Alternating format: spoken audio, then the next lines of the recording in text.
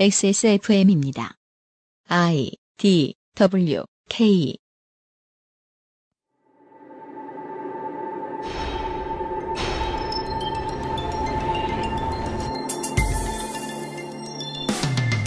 도박은 담배 같아서 하는 사람들은 지들끼리 재미있게 하면서 제게는 넌 몰라도 돼. 넌 이거 하지 마. 라고 하면서 아무런 정보도 주지 않더군요.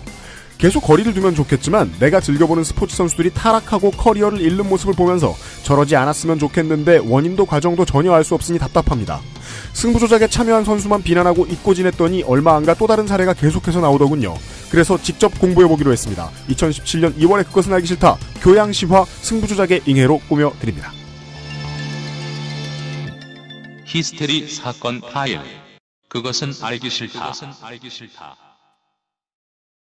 대선 시즌은 제가 누누이 말씀드리다시피 어, 불법과 범법의 세계를 들여다보기가 너무 좋은 시즌입니다. 왜요? 아무도 안 보잖아요. 그렇습니다. 어, 원래 그 이제 진삼국 무쌍을 하듯이 음. 붐비는 맵만 좋아하는 게이머가 있는가 하면 네. 저희들처럼 아, 몬스터를 다 잡아놓고 음. 풍광을 감상하는 이런 게이머들도 있어요. 그 진짜 근데 생각보다 많아요. 네. 이, 이 게임은 경치가 좋다고 말씀하시는 게이머들. 2017년 2월 둘째 주 주말에 그것은 알기 싫다 시간입니다. XSFM 책임 프로듀서 UMC의 인사드립니다. 그나저나 배대지가 도박 윤세민입니다. 같은 건가요? 윤세민 기자입니다. 안녕하십니까 윤세민입니다. 네. 배대지가 도박 같은 거냐고요? 너는 몰라도 된다고 하길래 아, 나름 또 무슨 뭐, 이르면은 배대, 이래가지고 뭘 담궈주는 그런 그 도박이에요, 그게? 아, 배송 대행지는 꼭 필요해요. 있으면 참 좋아요. 몰라도 된다길래. 왜냐면, 윤세민을 위한 시간입니다. 요즘은 그, 한국에 직구 하시는 분들이 너무 늘었기 때문에, 네. 저는 가급적이 언론들이 흔히 쓰는 족이라는 단어 안 쓰려고 그럽니다. 족? 예, 직구족 이러잖아요. 아 네. 그걸 tribe, clan으로 분- 분류한다는 건, 음. 나머지 신문 읽는 사람들과 이 새끼들은 달라! 라고 강조를 하려고 그러는 거예요. 아 네. 80년대, 90년대식 캐캐 묵은 방식입니다. 그렇네요. 그런 식으로 쌀의 안전을 보장해 주기도 해요. 음. 왜?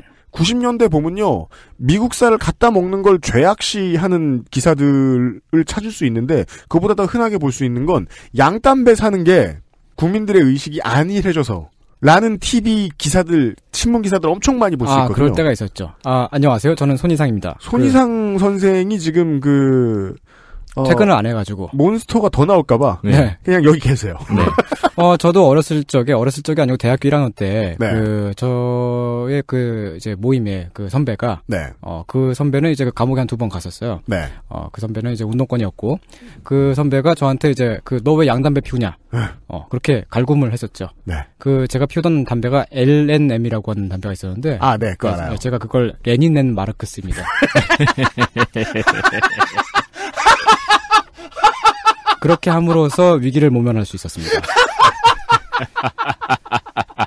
저는 이 무슨 막스 레닌 베이스볼이에요? MLB는? 저는 이 양담배에 대한 거부감에 대한 가장 강렬했던 추억은 음, 고등학교 때 이제 갑자기 소지품 감사를 해가지고 담배들이 확 걸렸어요. 음, 근데 친구 중에 한 명이 양담배를 걸린 거예요. 음. 그 당시에는 아직 그 남자 선생님이 남자 학생들을 폭력배처럼 패던 시대였거든요. 맞아요. 진짜 죽도록 패더라고요. 폭력배가 폭력배를 패듯. 네. 네. 매국노라면서. 맞아요. 어, 뭐. 물론 제가 이제 윤세민에게 하던 얘기는 그겁니다. 직구하는 사람들이 잘못된 게 아니라 음. 직구가 지금까지는 경제적으로 현명한 방식인 게 그 배대지를 사용하는 배송 대행지를 사용하는 네. 어, 한국의 구매자들이 많이 늘어나니까 해외의 구매 사이트들이 이제는 한국의 카드가 이제 해외 카드다 음. 아시아에서 갑자기 카드 들어왔다 이러면서 막는 사이트들이 점점 줄고 네. 어, 심지어는 요즘은 그게 일반화됐죠. 그 나라의 서버 잡히는 곳의 환율로 바꿔서 판매를 합니다. 아, 네. 그러면 환치기가 되죠. 판매를 하는 입장에서. 음. 예. 자기들이 받고 싶은 환율을 적용을 해버리니까 음. 사는 사람이 환율 손해를 봐요.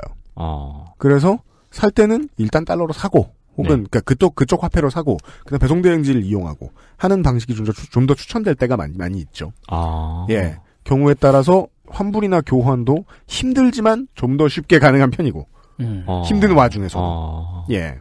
그러려고 있는 거예요. 그렇, 그렇군요. 아, 그니까 그 나라에서 대신 구매를 하는 거구나. 네. 네. 그래서 안 해본 사람들은 저 사람들 저거 왜 해? 뭔가 어두운 취미 아니야? 라고 생각하게 만드는 게 이제 보통 인간의 일반적인 상황에 대한 대처 방식이에요. 음. 경험해보지 못한 것들에 대해서 에, 자기가 생각했던 자기가 경험했던 것들에 비해서 조금 나쁜 것으로 이해하기는 맞습니다. 네.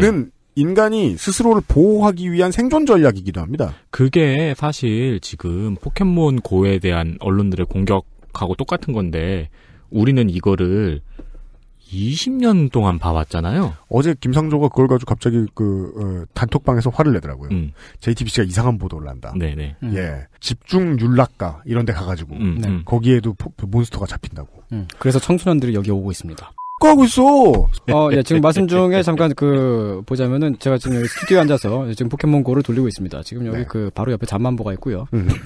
어, 나 잠만보 잡고 싶은데. 아, JMB. 어, 저 지금 근데 아까 포켓볼을 다 써가지고 제가 잡을 수가 없네요. 아까 포켓몬 하나를 잡는데 포켓볼을 6개 정도 쓰시고 실패하셨습니다. 아, 여섯 개 아니고 다, 있는 거 다 썼어요, 저. 아, 그, 희한하게 윤세명 기자님은 그 몇 번 던지고 바, 로 잡더라고요. 저는 이게 되게 못 잡아요. 아, 저 사- 사격도 진짜 못하거든요. 사격을 못하고, 음. 못하는 게 되게 많이 있습니다. 자전거도 못합니다. 우선은 이제 고전 게임인 네. 어, 휴지통에 종이 던져놓기부터 다시 하세요. 아, 예. 네. 스냅을 배우셔야 된다. 음, 네. 그 이제 그 말씀을 왜 드렸냐? 스포츠 배팅은 좋은 취미입니다. 네. 저는 음. 이걸 감히 괜찮은 취미라고 말씀드립니다. 이번 주부터 3주간, 예, 이번 주 금요일부터 매주 3주간 금요일에 이 문제에 대해서 얘기를 들어볼 겁니다. 그러면 저희들이 하는 말이 꼭 아주 헛소리는 아니구나라고 확인을 하실 수도 있을 겁니다. 음. 스포츠 배팅이 나쁜 게 아니다. 이걸 과격하게 하면 나쁘다. 어제도 얘기했어요. 쌀 직불금이 잘 들어가면 좋아요. 네. 잘 들어가면 좋아요. 잘 들어가면 좋죠. 그래도 바뀔 수는 있겠지만 잘 들어가고 있으면 바꾸는 것도 쉬울 거예요. 네. 예. 이 양아치들이 들어와서 문제입니다. 그렇죠. 네. 허경영 씨의 말대로 됩니다. 도둑놈이 너무 많습니다. 근데 이럴 때 저는 항상 궁금한 게 음. 물론 오늘 방송에서도 제가 눈여겨보고 싶은 부분인데 음. 어, 불법을 양산하는 시스템이지 않을까 음. 하는 부분이거든요. 네. 그런 부분은 좀 살펴봐야 될 것 같습니다. 그렇습니다. 잠시 후에 확인하시죠. 어, 가해실 최초의 교양 심화 과정입니다. 네. 광고를 어, 듣고 시작하겠습니다. 예. 네. 하실 저는- 말씀 있어요? 아, 저는 지금. 퇴근하실 그- 거라. 아니, 그, 네. 예. 바로 요, 요 옆에 사에 가가지고 일단 그 포켓볼을 좀 충, 충전을 하고. 아, 앞에 있는 절에 네. 거기 그 절이 포켓스탑이어가지고. 아, 앞에서 마그마 잘 나와요. 아, 그렇습니까? 네. 네. 다녀오겠습니다. 알겠습니다. 아, 예, 저는 갑니다. 그것은 알기 싫다는 에브리온 TV 한 번만 써본 사람은 없는 빅그린 헤어케어 나의 마지막 시도 퍼펙트 25 전화 영어 김치가 생각날 땐 콕 집어 콕 김치 기억력 향상에 도움을 줄 수 있는 공신보감에서 도와주고 있습니다. XSFM입니다. Um, hey, why don't you call Perfect 25? 뭐? Perfect 25. 뭔데 그게? Perfect 25 English phone call service. 이거 말하는 거야? 퍼펙트25.com? Yeah, that's a good start. 콕 집어 콕. 깔끔한 맛의 경기도 김치를 만들기 어려울 땐 콕 집어 콕. 오차 없이 지켜지는 절임 과정. 양념 배합, 저온 발효, 숙성. 정부가 보증한 전통 식품 인증 업체예요. 그러니까 김치가 생각날 땐 콕 집어 콕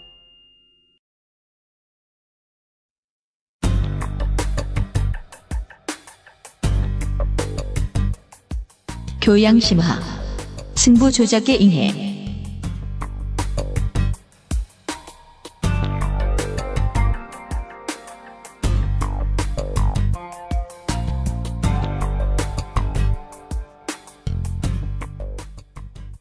네. 앞서 예고해드린 대로입니다. 저희들이 문학, 네. 루돌로지도 배워봤고 고리타분한 조성조 소장에게 어, 민주주의도 배우고 있고 여러 가지 기초 교양들을 많이 배웠는데 그 아실에서 그렇습니다. 이런 심화 과정은 처음입니다. 원래 그 전필과 기교를 지나가면요, 네. 예, 그 다음부터는 안 들어도 돼요. 음. 아, 모든 이들에게 권유되는 것은 아닙니다. 그리고 아, 이걸 들으셨다고 해서 무엇을 하라고 권유하는 게 아닙니다. 아, 그렇습니다. 가급적 뭘 하지 말라고 권유하는 겁니다. 네. 아, 부디 저, 알아주십시오. 저 같은 경우는 이제 국문학과랑 신문방송학과를 복수 전공을 했잖아요. 네, 어떻게 보면 둘 다 사회를 이야기하고 네, 또 어떻게 보면 둘 다 글을 다루는 학문인데 네, 그 국문학과에서 수업을 받다가 신문방송학과를 딱 들어가면은 네, 거기서부터 실 예를 배우게 되는 거예요. 네, 국문학과에서는 100년 전 책을 가지고 공부를 하고 있었는데 네. 신방과에서 오늘 아침 뉴스를 가져와라 음. 라고 해서 그걸로 공부를 하기 시작하니까 네. 거기서 오는 괴리가 또 조금 있더라고요. 음. 배우는 입장에서 확실히 심화 과정이라고 할 수 있을 것 같아요. 매우 그렇습니다. 네. 저로 말할 것 같으면 이 분야에 있어서는 극한의 문외한입니다. 아 그러신가요? 어, 도박을 할 줄 모릅니다. 아 근데 이제 일단 스포츠에 대해서는 굉장히 매니아시잖아요. 그래서 이번 방송을 준비하면서 느낀 건데 어, 스포츠에 대해서 반만 알고 있었던 것은 아닌가 하는 생각도 들어요. 아 법이 미치지 못하는 분야가 꽤 많은 자본주의 산하의 어떤 어, 쇼 비즈니스인데 음. 이곳에서 어, 합법적인 경쟁만 일어날 것이라고 생각하는 게 얼마나 순진했는가 하는 생각을 좀 많이 해보게 됐습니다. 저 같은 경우는 스포츠 자체에 거의 문외한이라고 할 수 있거든요. 아 그렇죠. 네. 그런 입장에서 이런 것을 보면은 음. 밖에서 보는 사람 입장에서 느껴지는 건 하나밖에 없어요. 뭐죠? 저걸 어떻게 잡아? 아 저거 어떻게 잡냐? 네. 그 얘기도 들을 수 있는지는 확인해 보겠습니다. 이제 스포츠에 관심이 없는 윤세민을 위해서 아, 이런 사례로 설명을 해봅시다. 마재윤 씨라고요. 네. 1987년생입니다. 대구 출신이세요. 네. 네. 대구 사람들이 얼마나 자랑스러워했는데요. 당시에 유명한 선수들이 어, 익산 출신이 되게 많았어요. 테란 맞아요. 선수들이. 네. 아, 서버도 유명했고요. 네. 최연성 코치도 익산 출신이세요. 네, 네. 네. 거의 전남대 서버, 전북대 서버. 맞아요. 네. 네. 어, 대구의 자랑이기도 했어요. 음. 네. 메이저 데뷔는 어, 03년에 CJ를 통해서 합니다. 네. 어, 그때 이미 베넷에서나 연습실에서 매우 유명한 인물이었고 TV에서 처음 등장했던 것은 그 당시에까지만 해도 있었던 경인 방송의 고수를 이겨라라는 프로그램에서 당대 최고의 스타인 기욤 패트리 선생을 잡으면서 네. 웬 동네 꼬마가 그렇죠. 그때부터 알려지기 시작했고 그 뒤부터 이 검찰 조사를 받기 시작할 때까지 최강을 달렸습니다. 지금은 뭐 이제 캐스파에서 공인된 모든 이, 사람에 대한 기록을 지워버렸기 때문에 네. 공인된 기록은 아닙니다만 아, 국내 메이저 대회만 해도 여섯 차례 우승 3년 내에 음. 예, 어, 그 인비테이셔널이나 컨벤션 대회 같은 것을 다 합쳐도 6할에 이르는 승률을 기록한 저그 네. 예 거의 유일하지요. 제가 그때 군대에 있어서 기억이 안 나는데 GO 시절이 아니고 CJ 시절에 데뷔를 했었던 건가요? GO인데 CJ 엔투스로 그렇죠. 예 봐주는 거죠. 네. 2008년 늦지막히부터 국내 리그에서 명백한 하락의 길을 걷습니다. 전혀 질 것 같지 않았던 인물이 국내 대회에서 어, 추풍낙엽처럼 무너지기 시작을 합니다. 네. 처음에는 당연히 아, 이런 영웅 유닛이 멘탈 문제일 것이다. 곧 다시 돌아올 것이다라고 생각을 했고 메이저 대회의 조 지명식마다 아직도 재윤이 형은 아직도 마재윤은 엄청나게 무섭다. 조지명할 때 피해가고 싶다라는 얘기를 했지만 네.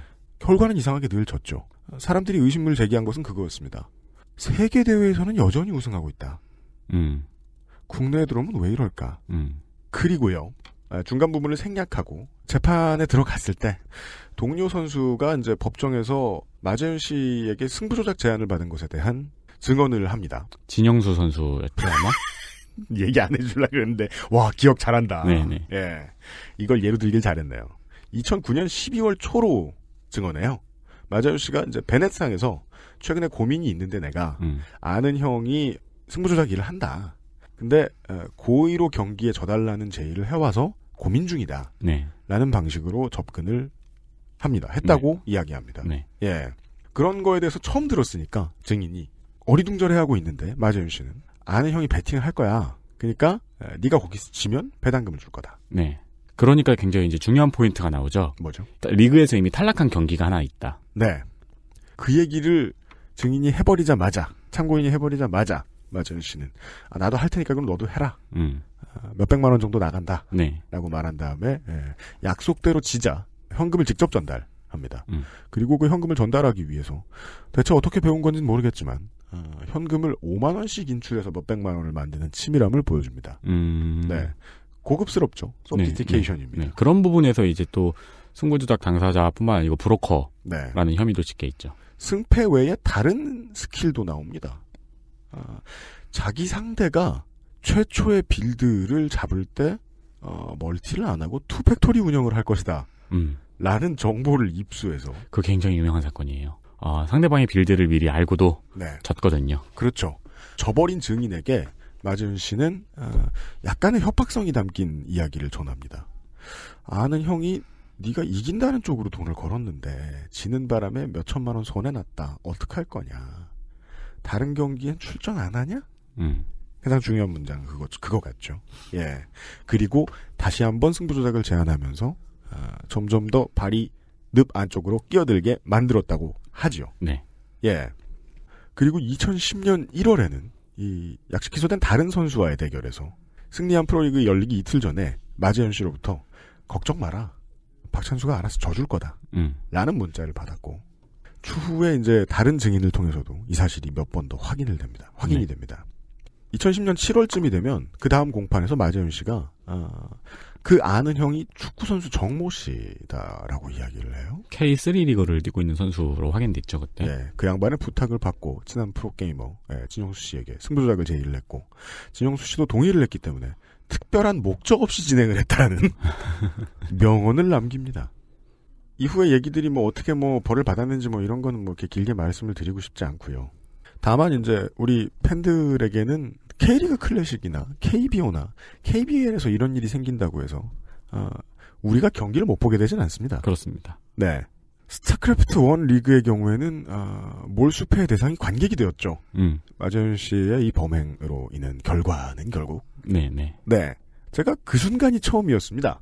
나는 아무 생각 없이 봤는데 음. 이게 나야말로 목적 없이 내가 정말 목적 없이 스타만 보던 사람인데 아 이게 나의 인생에 이런 영향을 끼치는구나 음, 네. 놀라웠습니다. 그리고 의미가 여러 가지가 있죠. e스포츠 같은 경우에는 왜 어, 2000년대 초반 그러니까 2000년대부터 2010년까지의 e스포츠는 마치 우리나라의 힙합과 같았거든요. 어땠는데요? 세상의 인식과 싸워야 됐어요. 아, 아, 네네네, 그렇죠. 네. 그, 순간 세상의 인식이 이겨버렸죠. 그렇죠. 마재현 씨 사건으로 인해서. 네. 예. 그 임요한 씨가 아침마당에 대해서 그 수모를 당하고도 아, 그죠. 이겨내서 그렇게 싸워온 e스포츠였는데 현금도 1억이 우스웠던 시절에. 그러게요. 이상벽 씨한테. 네. 그 욕을 보면서 그렇죠. 지켜냈는데 음. 한 방에 무너졌죠. 전 연봉이 1억인데요 라면서 그, 그 사건 이후로 제가 세상을 보는, 그리고 제가 스포츠를 보는 눈이 분명히 좀 변했습니다. 음. 여전히 전문 지식을 저는 어디서 얻을 곳이 없기 때문에 이 문제에 대해서 무식함에도 불구하고 무슨 상황을 봐도 어, 혹시 저 일에 스포츠 베팅과 도박이 걸려 있지는 않을까 네. 라는 고민을 하게 됩니다. 분명히 우리가 스포츠를 사랑하는 이유는 거기에 드라마가 나오기 때문이잖아요. 네. 예상과는 다른. 음. 스포츠라는 건 맨날 강자가 이기고 약자가 지는 시스템으로 계속 굴러가다가 그것이 역전되는 상황에 나오는 짜릿함. 네. 그 의외의 상황, 예상치 못한 상황, 계산과 다른 상황이 나왔을 때 짜릿함을 즐기는 네. 그것이 가장 큰 재미인데 음. 그 부분이 조작이 된다는 것. 음. 이 굉장히 critical한 부분이죠. NHL과 NFL의 각각 하나씩의 팀이 라스베가스로 연고지를 이전합니다. 어. 이미 NHL은 창단이 됐습니다. 베가스 골든 나이츠가 뛰어듭니다. 음. 어, 근데 매우 오랜 세월 동안 미국 4대 스포츠가 베가스의 팀을 만들지 않았던 이유는 단 하나입니다. 어. 선수 관리가 안 될까봐. 어. 그러니까 마치 강원 랜드스 같은 팀이 나오면 안 되는 같은. 하지만 강원랜드는 아이스하키 팀이 있어요. 아, 그래요? 그분들은 별 혐의 없는 걸로 압니다. 네. 물론 이분께 설명을 듣겠습니다. 죄송합니다. 예. 무식해서 그렇습니다. 네. 강원도니까 그런 거예요. 네. 강원랜드라기보다. 네. 네. 그 평소 같으면은 아 뭐 그냥 베가스에 인구 없으니까 라스베가스에 인구 없으니까 그런가 보다. 음. 그런 생각했을 텐데 음. 라스베가스는 인구가 없지도 않고요. 스포츠를 못하는 대학교만 있는 것도 아니에요. 근데 네. NHL 같은 경우에는 연봉 규모가 어마어마하잖아요. 네. 그런 부분은 또 이 조작 사건에서 조금 자유로운 부분이 있지 않나요? 그것도 설명 드릴 거예요. 아, 좋은 질문인데 나중에 답할 겁니다. 네. 네. 그리고 저는 이 고민을 풀어보려고 생각한 적이 없습니다.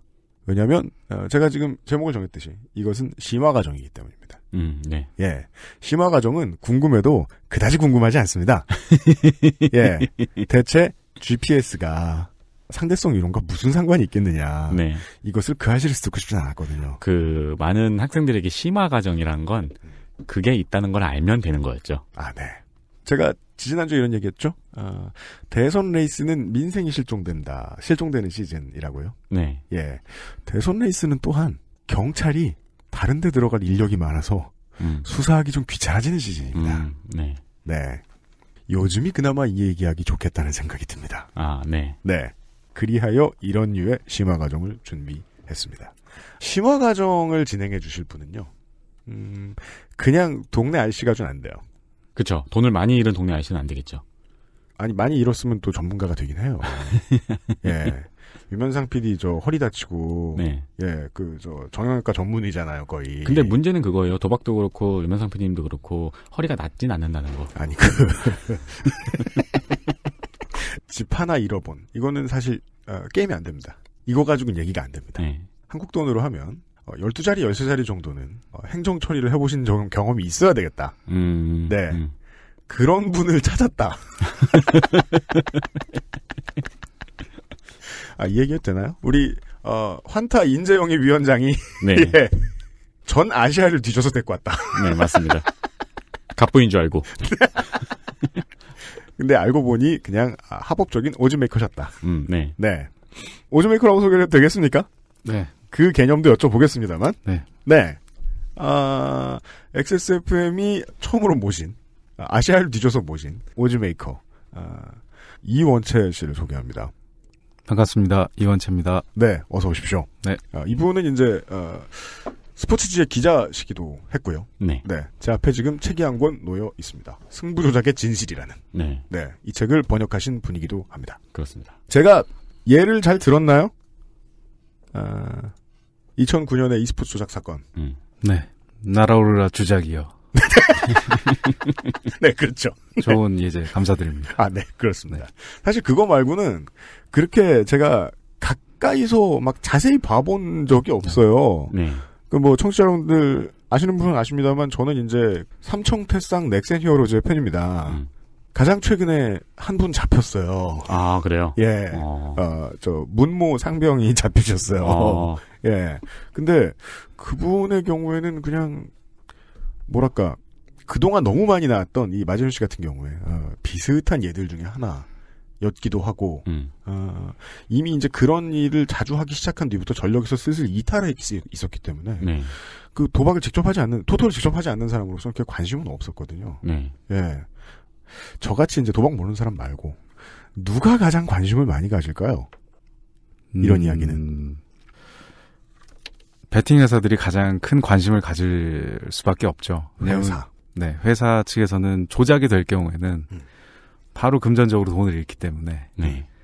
전 세계 베팅 회사들은 어느 회사나 부정 행위를 그 포착하는 그런 일에 심혈을 기울이고 있고요. 음. 예, 전 세계적으로는 그것만 전문으로 해주는 승부 조작 적발 전문 업체들이 지금 성업하고 있습니다. 아, 아, 왜그 네. 생각을 못했지? 가장 큰 손해를 보는 건 합법적 베팅을 하는 회사군요. 건설 감리 회사군요. 회계 감리 같은 경우도 비슷하고 분식 회계를 잡아내야 되니까. 그렇죠. 그리고 그 이제 증권 거래소 같은 경우에서도 이제 주가 조작. 음. 나중에 설명드리겠지만 승부 조작이 결국은 보험 사기나 음. 주가 조작하고도 거의 메커니즘이 비슷하거든요. 그러니까 보험회사 같은 경우에서 그 경찰보다 우수하다는 음. 사건 조사원들 네. 그런 음. 게 베팅 회사에도 정확히 똑같이 존재하는 거죠. 음. 계속 돈을 따는 사람이 있다. 회사에 손실이 계속 발생한다. 음. 음. 그러면 분명히 무언가 있을 것이다. 음. 그리고 그것만 전문으로 조사해주는 회사들이 있습니다. 이 질문을 처음에 드리기를 좀 잘한 것 같습니다. 왜냐면 저처럼 문외한들은 어 뭐 유럽 축구를 보고 있다가 저 선수들의 가슴팍에는 왜 다 도박 사이트만 써 있어? 음, 음. 이러면서 베팅은 즉 불법 같은 생각을 하고 있어요. 저 네, 같은 네. 촌로의 마인드죠. 네. 예. 그게 아니라는 데부터 이야기를 시작하면 좋을 것 같아요. 음. 예. 어, 스포츠 토토가 주장하는 대로다. 스포츠를 보는 다른 즐거움이다, 원래. 네. 원래는 그렇다. 즐거운 도토 소액으로 건전하게 즐기세요. 네, 네. 저희 아버지가 그렇게 살고 계시거든요. 다행히 소액이신가 보네. 아직 살아 계신 걸 보면. 네, 소액으로 진짜 건전하게 즐기시는지는 잘 모르겠어요. 아, 근데 저희 아버지는 그게, 그니까, 굉장히 스포츠 강이세요. 네. 그 저희 아버지의 박복한 삶의 요소 중에 하나인데, 네. 본인이 굉장한 스포츠 강인데 아들이 스포츠를 안 좋아한다는? 음. 저희 아버지는 뭐 배구, 테니스 다 챙겨 보시거든요. 음. 그래서 모든 경기에 토토를 조금씩 하시는데, 음. 늘 지는 팀에 거시는 거예요. 음. 그래서 아니 아빠는 스포츠를 40년 동안 본 사람이 음. 왜 항상 질게 뻔한 팀에 거냐 그러니까 음. 아 재미로 보는 거니까 그러시더라고요. 배당률상 그렇게 거시는 걸 수 있죠. 네 그렇긴 한데 이제 네. 아니 40년 동안 본 사람이면 좀 이기는 팀에 걸지 질게 뻔한 팀에 왜 거냐 그러니까 아, 어차피 재미는 지는 팀이 거는 게 재밌지 그러더라고요. 음, 우수 고객이십니다. 아, 영배 한번 당첨당하면요. 아, 그 맛을 잊을 수가 없어요. 아, 제가 천 원짜리로 한 30만 원 따봤거든요. 아 진짜요? 네. 음, 저런 분들을 막아야죠. 그 먼저 승부 조작을 이해하려면은 승부 조작의 대상이 되는 스포츠에 대해서 잠깐 얘기를 해보고 싶습니다. 아까 말씀하신 대로 음. 스포츠라는 게 이기기 위해서 하는 거 아니겠습니까? 네, 모든 팀들이 승리를 위해서 하게 되고 네, 말씀하신 대로 그 과정에서 이기지 못할 것 같은 팀이 이기면서 네, 영웅이 되고 영웅을 응원하는 팬들이 나타나고 각본 없는 드라마에 감동을 느끼게 되죠. 네. 그리고 특히 한국 프로야구 같은 경우에 또 유럽 축구 같은 경우에 자기 지역의 팀과 소속감을 느끼면서 음. 그들의 성취감을 공유하고 일체감을 느끼게 되는 그런 큰 아주 좋은 지역체를 묶어주는 메커니즘으로도 작동하기도 합니다. 아. 나아가서 또 애증의 관계가 되기도 하죠. 그렇습니다. 그러니까 뭐 터키 팀들 같이 음, 이렇게 그 한 동네에 한 구단주가 모든 구단을 다 수요해가지고 음, 예, 그 동네 사람들은 무슨 종목이든 다 그 동네 팀 팬이 되게 되어 있는 아, 예. 그렇죠. 네, 한 네. 클럽이 모든 종목을 소유하고 있는 그런 경우들이 많이 네. 있죠. 그러니까 김연경의 팬이면 페네르바체 FC의 팬인 거죠. 그렇습니다. 아, 예, 그건 진짜 삶이잖아요, 삶. 네, 네, 예, 남자 배구, 여자 배구, 네, 축구, 농구 다 있죠. 네. 근데 이제 이기는 게 정상인데 음. 이기는 걸 원하지 않는 사람들이 간혹 존재합니다. 네. 제1강 이기지 않으려는 이유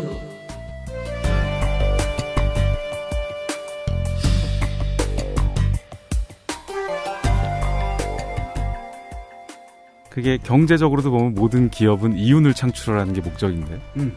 간혹 돈을 잃으려고 노력하는 기업들이 있죠. 아, 우리 저 은수미 차용인이 네. 예.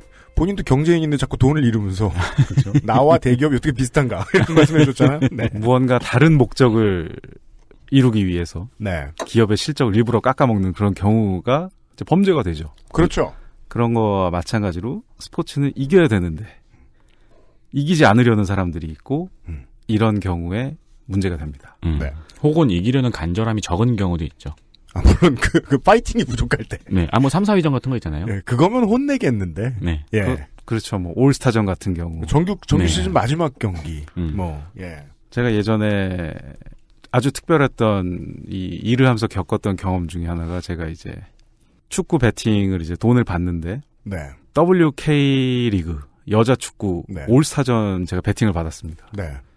경기가 시작이 됐는데 음. 그 한쪽 팀 골키퍼에 개그맨 서경석 씨가 나와 있는 거예요. 예. 어. 그래서 제가 바로 회사 보스한테 얘기를 했습니다. 지금 이 경기는 바로 판매를 중단해야 된다. 지금 골키퍼가 개그맨이다. 음. 그 그냥- 회사에서는 네. 그러나 지금 전 세계적으로 스포츠 경기가 이거 하나밖에 없으니 그냥 팔아라. 손해가 나더라도 그냥 진행해라. 아, 그냥 팬 서비스 경기였는데. 그쵸. 그러니까 음. 뭐 도박은 뭘 해도 합니다, 사람들은. 음. 아, 네. 그래서 근데 뭐 경기하다 보니까 나중에 서경석 씨가 골 포스트에 묶여 있더라고요. 그 약간 개그적인 요소를 아, 넣어서 네. 그리고 이제 뭐 박은선 선수 이런 사람들이 그냥 사정없이 골을 넣고 거기다가 아, 그냥 한편의 꽁트였네요. 그쵸. 그 혹시 아실지 모르겠지만 그 스포츠 베팅 상품 중에 over under라는 상품이 있습니다. 네. 한국에서는 이제 under over라고 부르는데 이제 골이 몇 골 이상 나느냐 안 나느냐. 음. 와 전문가적이다. 네. 근데 이제 서경석 씨가 묶여 있고 네. 골이 막 들어가기 시작하니까 전 세계의 베팅하는 사람들이 다 거기 오버에 이제 걸기 시작하는 거예요. 이 경기는 이제 대박이다. 네, 네. 이미 전반전에 8골인가가 났어요. 그건 골이 들어갔다기보다는 공이 글로 굴러갔다고 표현하는 게 맞네요. 그렇죠. 그러면 진짜 위험하네요. 진- 정말 회사 입장에서는. 네. 그래서 제가 극단적인 예를 들었지만 이기고 싶지 않은 경우 음. 서경석을 골키퍼로 기용하여 묶어놓는 경우 네. 이렇게 부작용이 있어도 이렇게 재밌는 부작용이면 괜찮은데 네. 네. 이제 돈이 끼면서 문제가 심각해집니다. 음.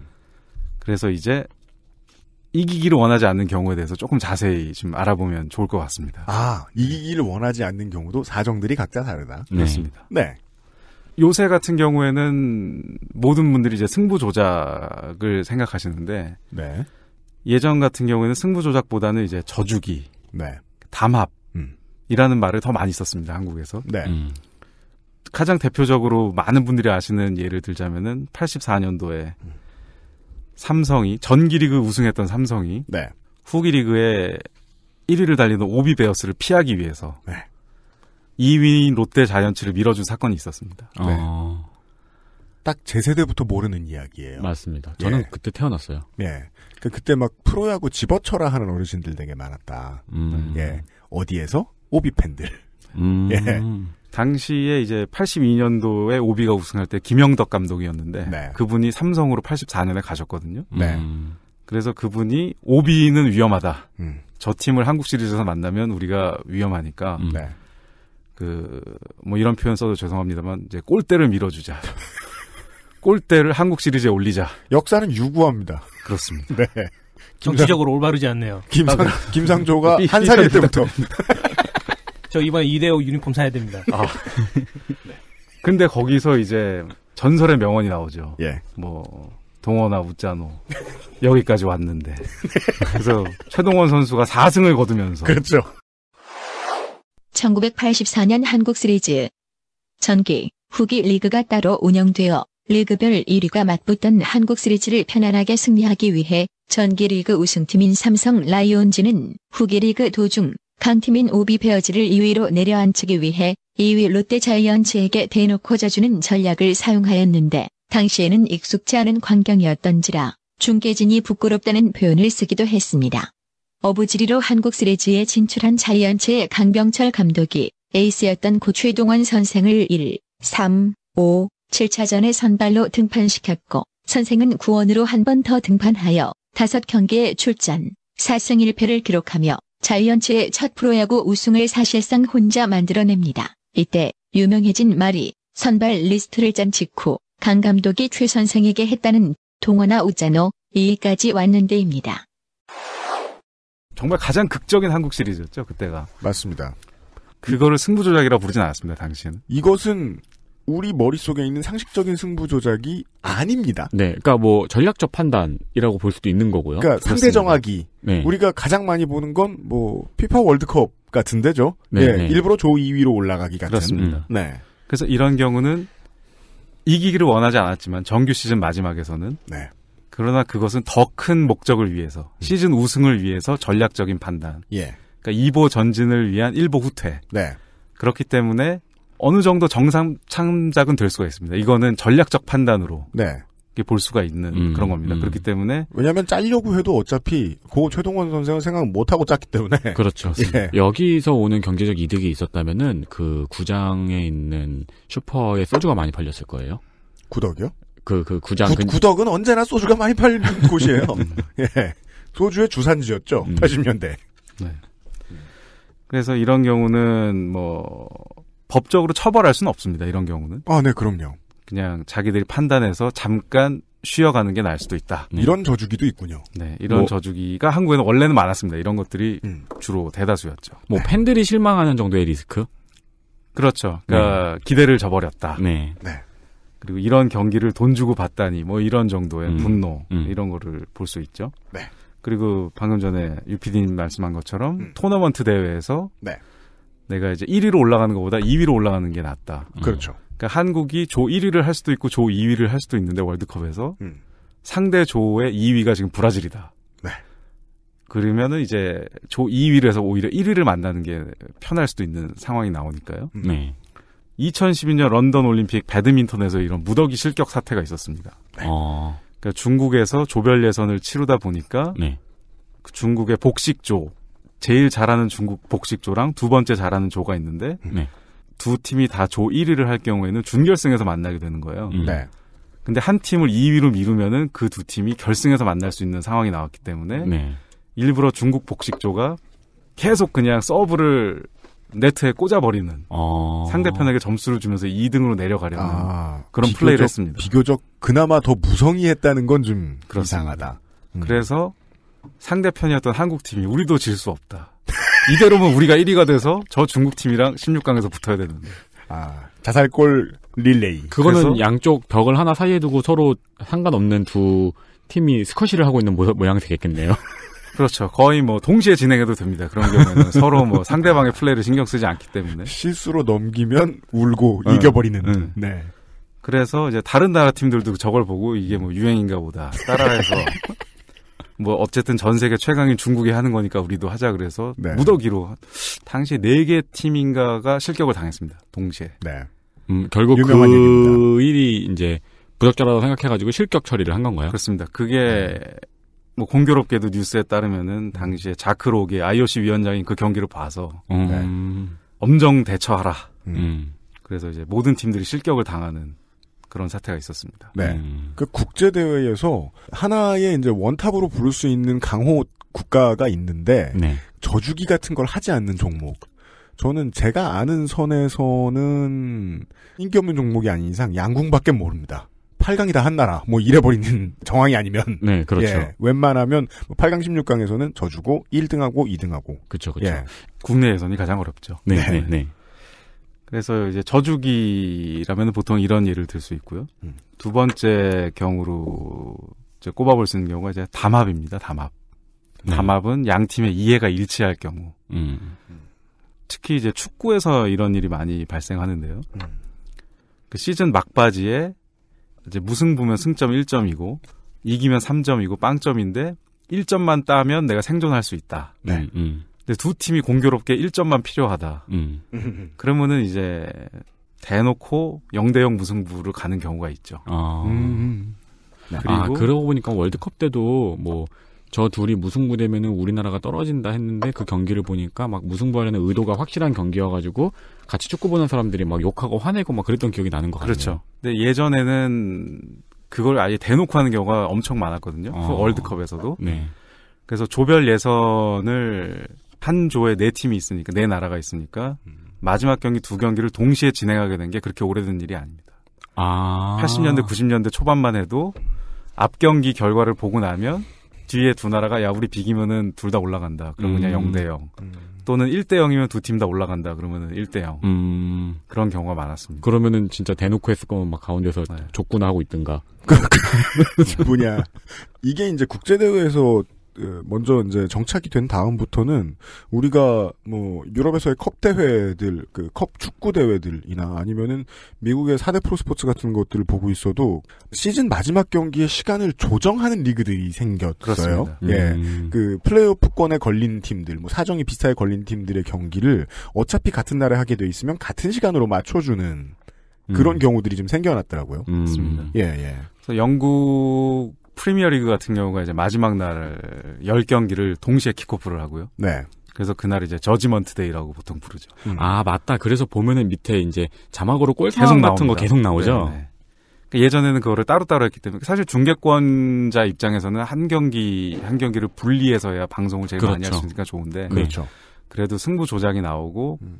문제가 생길까봐 마지막 경기는 무조건 동시에 합니다. 음. 네. 그러니까 담합까지만 해도 그냥 리그 차원에서 방지해야 되는 문제. 네, 리그의 재미가 그렇습니다. 떨어지고 경기가 재미가 떨어지니까. 네. 하지만 요 앞에 나온 지금의 담합도 그렇고 요 앞에 말씀해주신 저주기도 그렇고 네. 어 팬들도 그 누구도 이걸 범죄라고까지는 보지 않게 됩니다. 음. 그렇습니다. 예를 들어 뭐 허구한 날 지금 농구를 보고 앉았는 저도 이 저주기에 지금 말씀 안 해주시고 넘어가신 것 중에 대표적인 게 탱킹이잖아요. 네. 맞습니다. 예. 드래프트 제도가 잘 정비가 되어 있는 리그의 경우에는 꼴찌하는 팀이 그 다음 해에 최대어 루키를 잡게 되니까. 음. 예. 그래서 뭐, 몇 년 사이에서는 가장 얘기 많이 나왔던 게 NBA에서는, 어, 밀워키 벅스가 우리가 tanking을 해서 카림 압둘 자바를 얻기 전, 얻고 난, 난 후, 그 뒤부터 성적이 좋았던 적이 없다. 음. tanking을 똑바로 하자. 라면서 팬들이 져주자고 하잖아요, 계속해서. 어, 어. 예. 그 마음에 드는 최대어 안 나오면 무한 tanking하고 몇 년 동안. 어. 그런 팀들이 뭐 미국 프로 사대 스포츠에서는 종종 볼 수 있단 말이죠. 음. 초기만 돼도 좀 분위기 안 좋으면 바로 tanking으로 빠져버리는. 음. 예. 그 tanking이 뭔가요? 계속 져주기예요. 아. 그 그러니까- 신인 드래프트를 할 때 성적 역순으로 하다 보니까 네. 어차피 플레이오프 못 가는 팀들이 예. 꼴찌를 노리는 경쟁에 이제 들어가는 거죠. 음. 그러니까 가급적 열심히 지기인데 네. 이것은 이제 리그에서 방지하기 위해서 어, 로또를 하죠.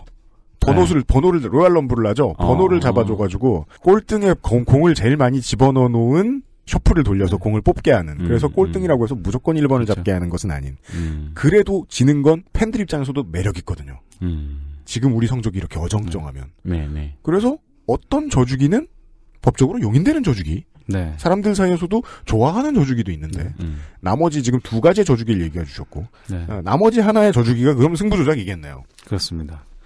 그러니까 탱킹 같은 경우도 말씀드리자면은 다음 시즌을 대비해서 미래 시즌을 대비해서 이번 시즌에 약간 쉬어간다는 느낌이 있기 때문에 그것도 전략적 판단으로 볼 수 있습니다. 네. 리빌딩의 일환이라고도 볼 수 있고요. 그럼요.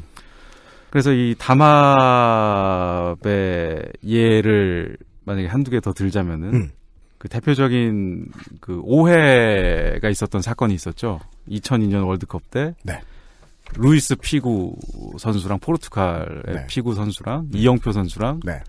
피구가 이제 무승부 제안을 했다 경기 중에 아, deal이 있었다, 뭐 이런. 그런 그 설이 있었습니다 네, 당시에. 네. 그뭐 사진하고 같이 막 기사에 나왔었죠. 네. 그게 왜냐하면은 당시 경기 상황에서 0대 0으로 경기가 끝날 경우에 한국 포르투갈이 16강에 진출할 수 있는 경우였거든요. 네. 네, 맞습니다. 그래서 당시에 피구 선수가 이영표에게 이제 영어로 take it easy 라고 말을 했다고 합니다. 음. 근데 그게 야 좀 살살 하자.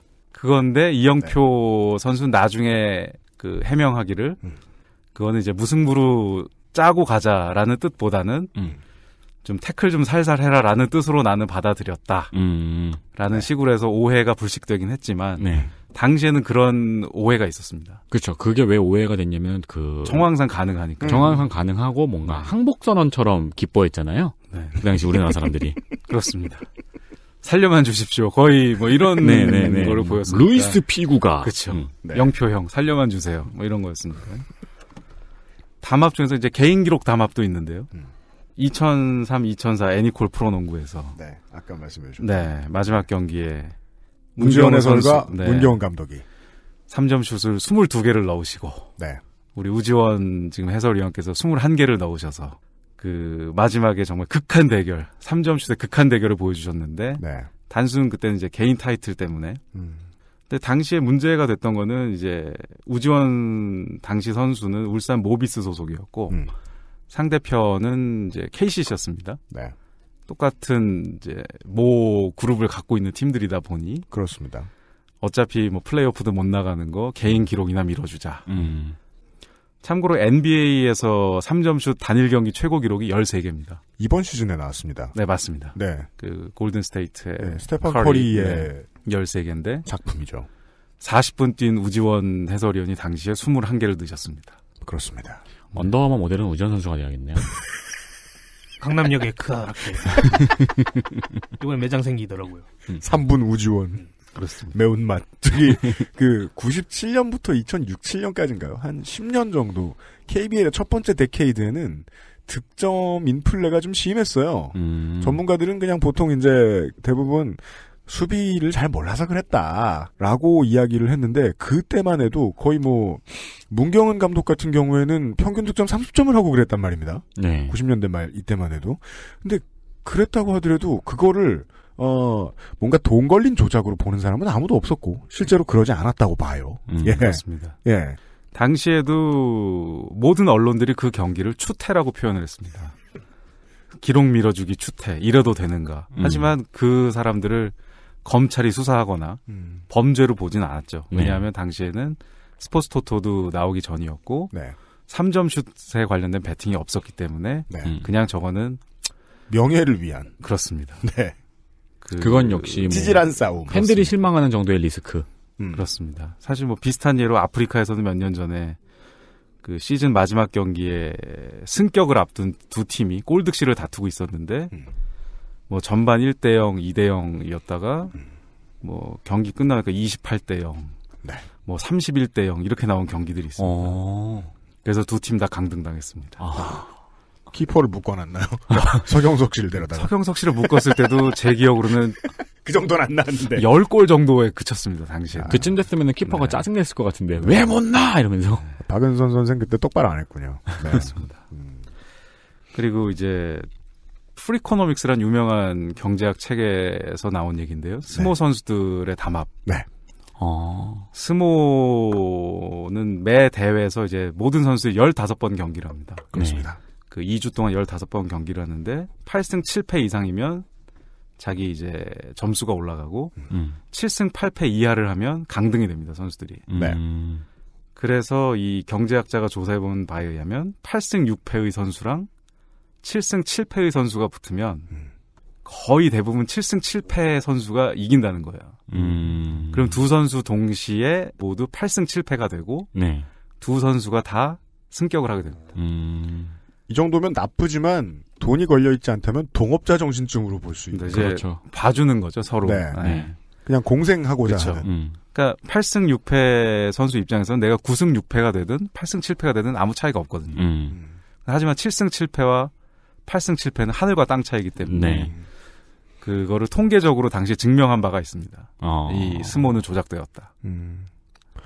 최초의 K리그 1, 2부, 지금은 클래식과 챌린지죠.가 도입될 때 그냥 동네 아저씨들이 제일 많이 하는 말이 그거였죠. 이거 다 서로 도와주거나 음. 아니면 동 그 저 뒷동거로 갈 텐데 네. 무슨 강등이야 강등 우리나라에서 아, 아. 예 지금 뭐 정착시키느라 아주 노력하고 있지만 말입니다. 사실 K리그에서는 2년 전에 부산이 강등을 당했는데요. 네. 당시에 의혹의 눈초리가 많이 있었습니다. 음. 왜냐하면은 부산의 구단주가 K리그와 대한축구협회 회장이었기 때문이죠. 그렇습니다. 저 팀이 과연 강등을 당할 수 있을 것인가. 음. 근데 뭐 아싸라게 당하더라고요. 그래서 K리그는 살아있다.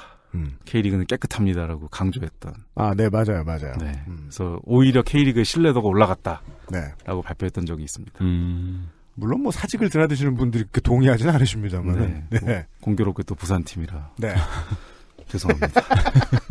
네. 그리고 뭐 마지막 예를 하나만 들자면 이제 테니스에서는 이제 세레나 윌리엄스랑 비너스 윌리엄스 자매의 논쟁이 좀 있었습니다. 논란이 그렇습니다. 과거에 있었습니다. 그러니까 논란 정도로 봐주십시오. 그러니까 지난번 Sister Act 윔블던 결승, 결승을 얘기하는 게 아니고요. 네. 네. 이게 한 10년 된 얘기인가요? 그렇죠? 네, 예. 2001년에 이제 인디안 웰스 마스터즈 대회에서 네. 당시만 해도 이제 언니가 더 잘 나갈 때죠. 비너스가 그렇습니다. 잘 나갈 때인데 준결승에서 둘이 만났습니다. 비너스랑 세리나가. 네. 근데 거기서 비너스 윌리엄스가 경기를 몇 분 앞두고 갑자기 기권을 했습니다. 네. 그래서 세레나 윌리엄스 동생이 준결승 경기를 부전승으로 올라가서 맞습니다. 결승에서 우승을 차지했죠. 네. 그 모양새가 너무 부적절했기 때문에 그렇습니다. 사람들은 이 시스터 액트는 코미디다. 음. 예. 우피 그래서- 골드버그보다 더 웃기다. 그래서 팬들은 그 윌리엄스 자매의 아버지가 우승자를 정했다.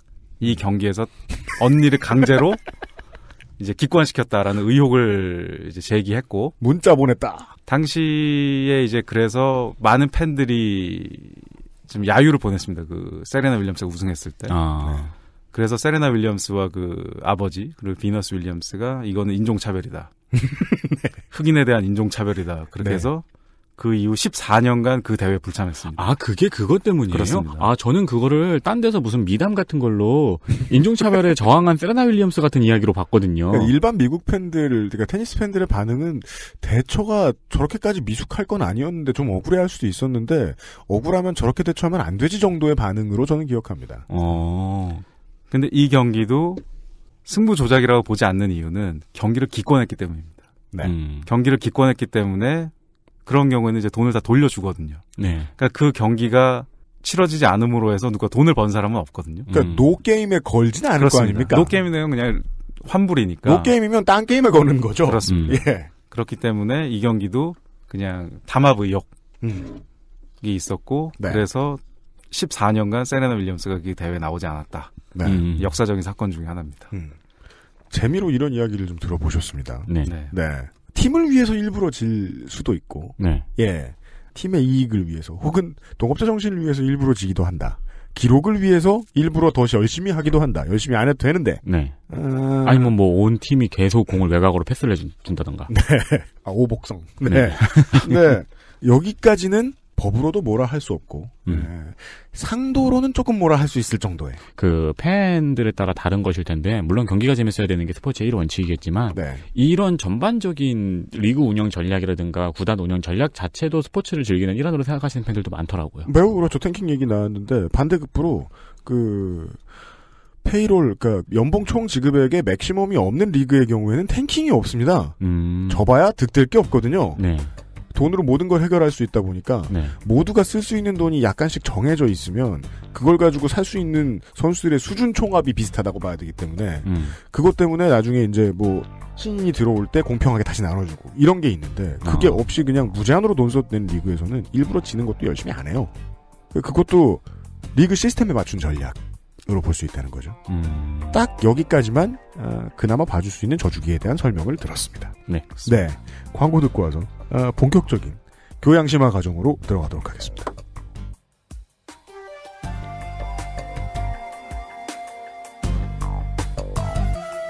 XSFM입니다.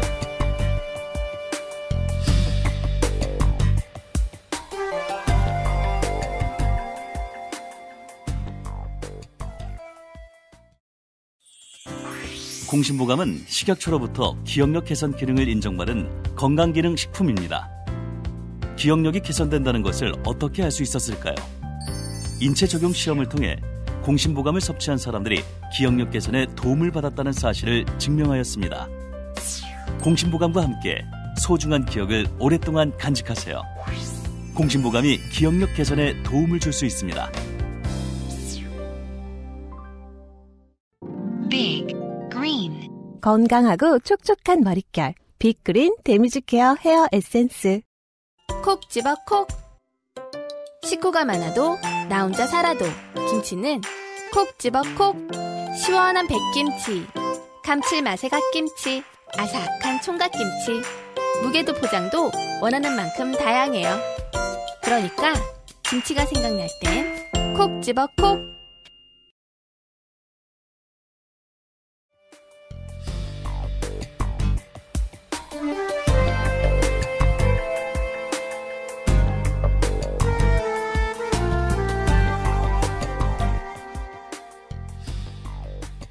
이제 저 같은 문외한이 승부 조작이 무엇인지 배워볼 시간입니다. 네. 이제 승부 조작은 통상적으로 이제 배팅을 통해서 돈을 벌기 위해서 경기를 주무르는 거를 이제 승부 조작이라고 많이 하죠. 아, 그건 알겠네요. 네. 예. 그래서 방금 말씀드린 대로 담합이나 저주기와는 차원이 다릅니다. 이제부터는 범죄의 세계로 들어가는 겁니다. 그러네요. 네. 음. 근데 이제 왜 범죄 얘기하냐고 뭐라고 하시지 마십시오.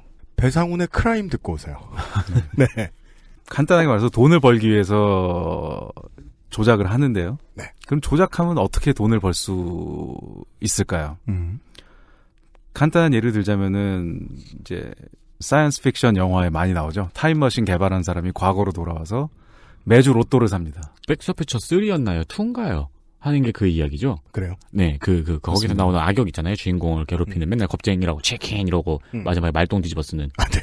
걔가 이제 우연히 타임머신을 발견을 했는데 스포츠 1람표인가? 음. 승패나 스코어가 다 기록되어 있는 걸 들고 네. 과거로 가서 부자가 되는. 음. 그렇습니다. 그러니까 로또를 알고 있으면 로또를 1등을 할 수가 있고 네. 스포츠 경기 결과를 알았으면 매주 토토를 맞을 수 있죠. 네. 비슷한 예로 미래에서 과거로 돌아와서 스포츠 경기 결과를 알 수 있다면 음. 돈 버는 거는 당연한 일입니다. 네. 그래서 과거에 경마가 처음 번성하던 시기에 미국에서 비슷한 사기가 있었습니다. 네.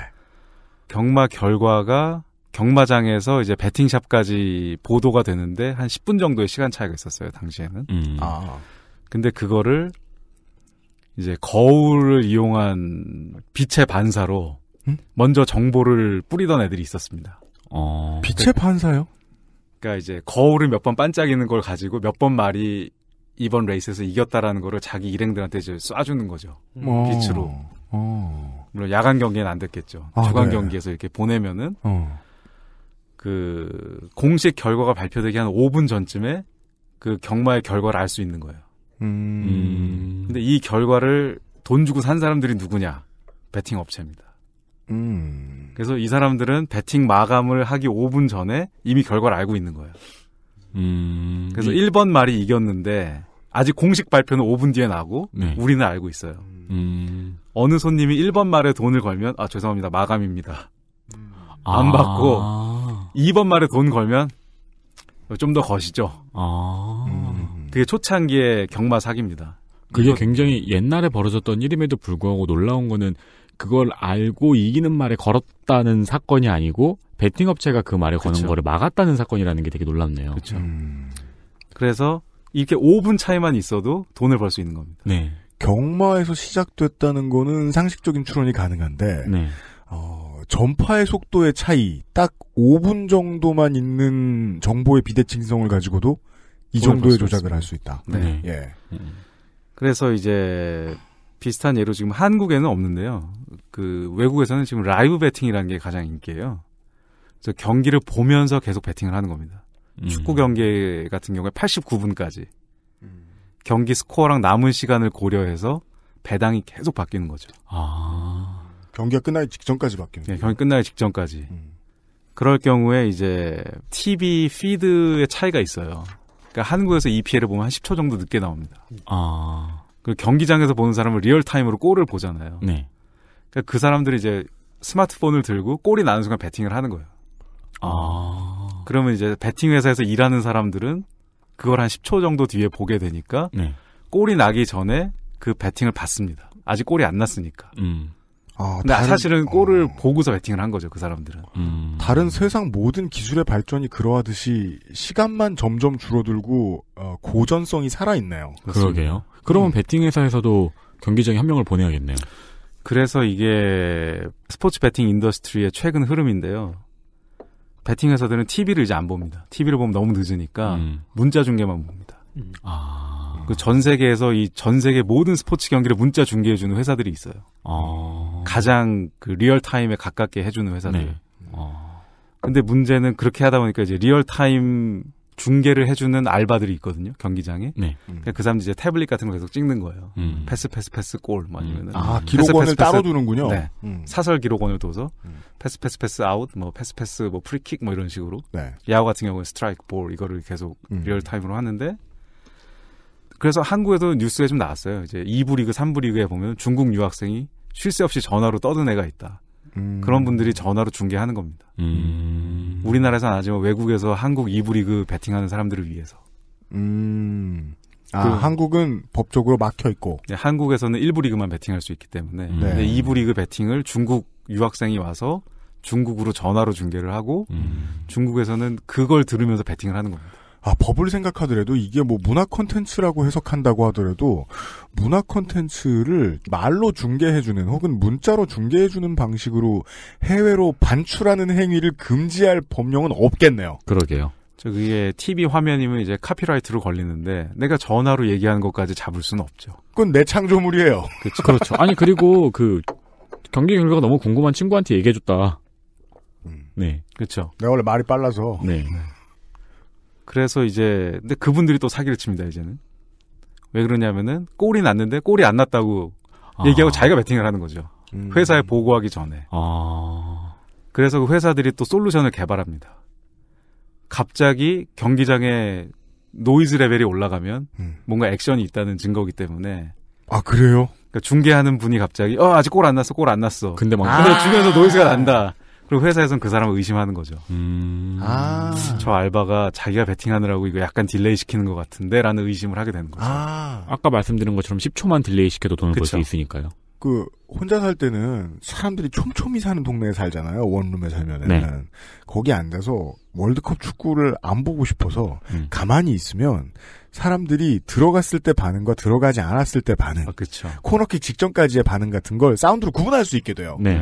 혼자 앉아서 딴 거 하면서 아 그 방식을 쓰는군요. 그래서 소프트웨어적으로 그거를 구별하는 아 알고리즘이 들어가는 거죠. 우와. 회사 측에서. 아 그런 플러그인은 가능할 것 같아요. 네. 이건 탄식이다. 네. 아, 그건 가능할 그렇죠. 것 같아요. 예, 예. 그 경기장 중계 알바가 사기를 치는지 안 치는지를 잡기 위한 알고리즘. 와. 그게 지금 트렌드입니다 요새. 음. 그 소프트웨어 개발자들한테. 오, 너무 신기하네요. 네.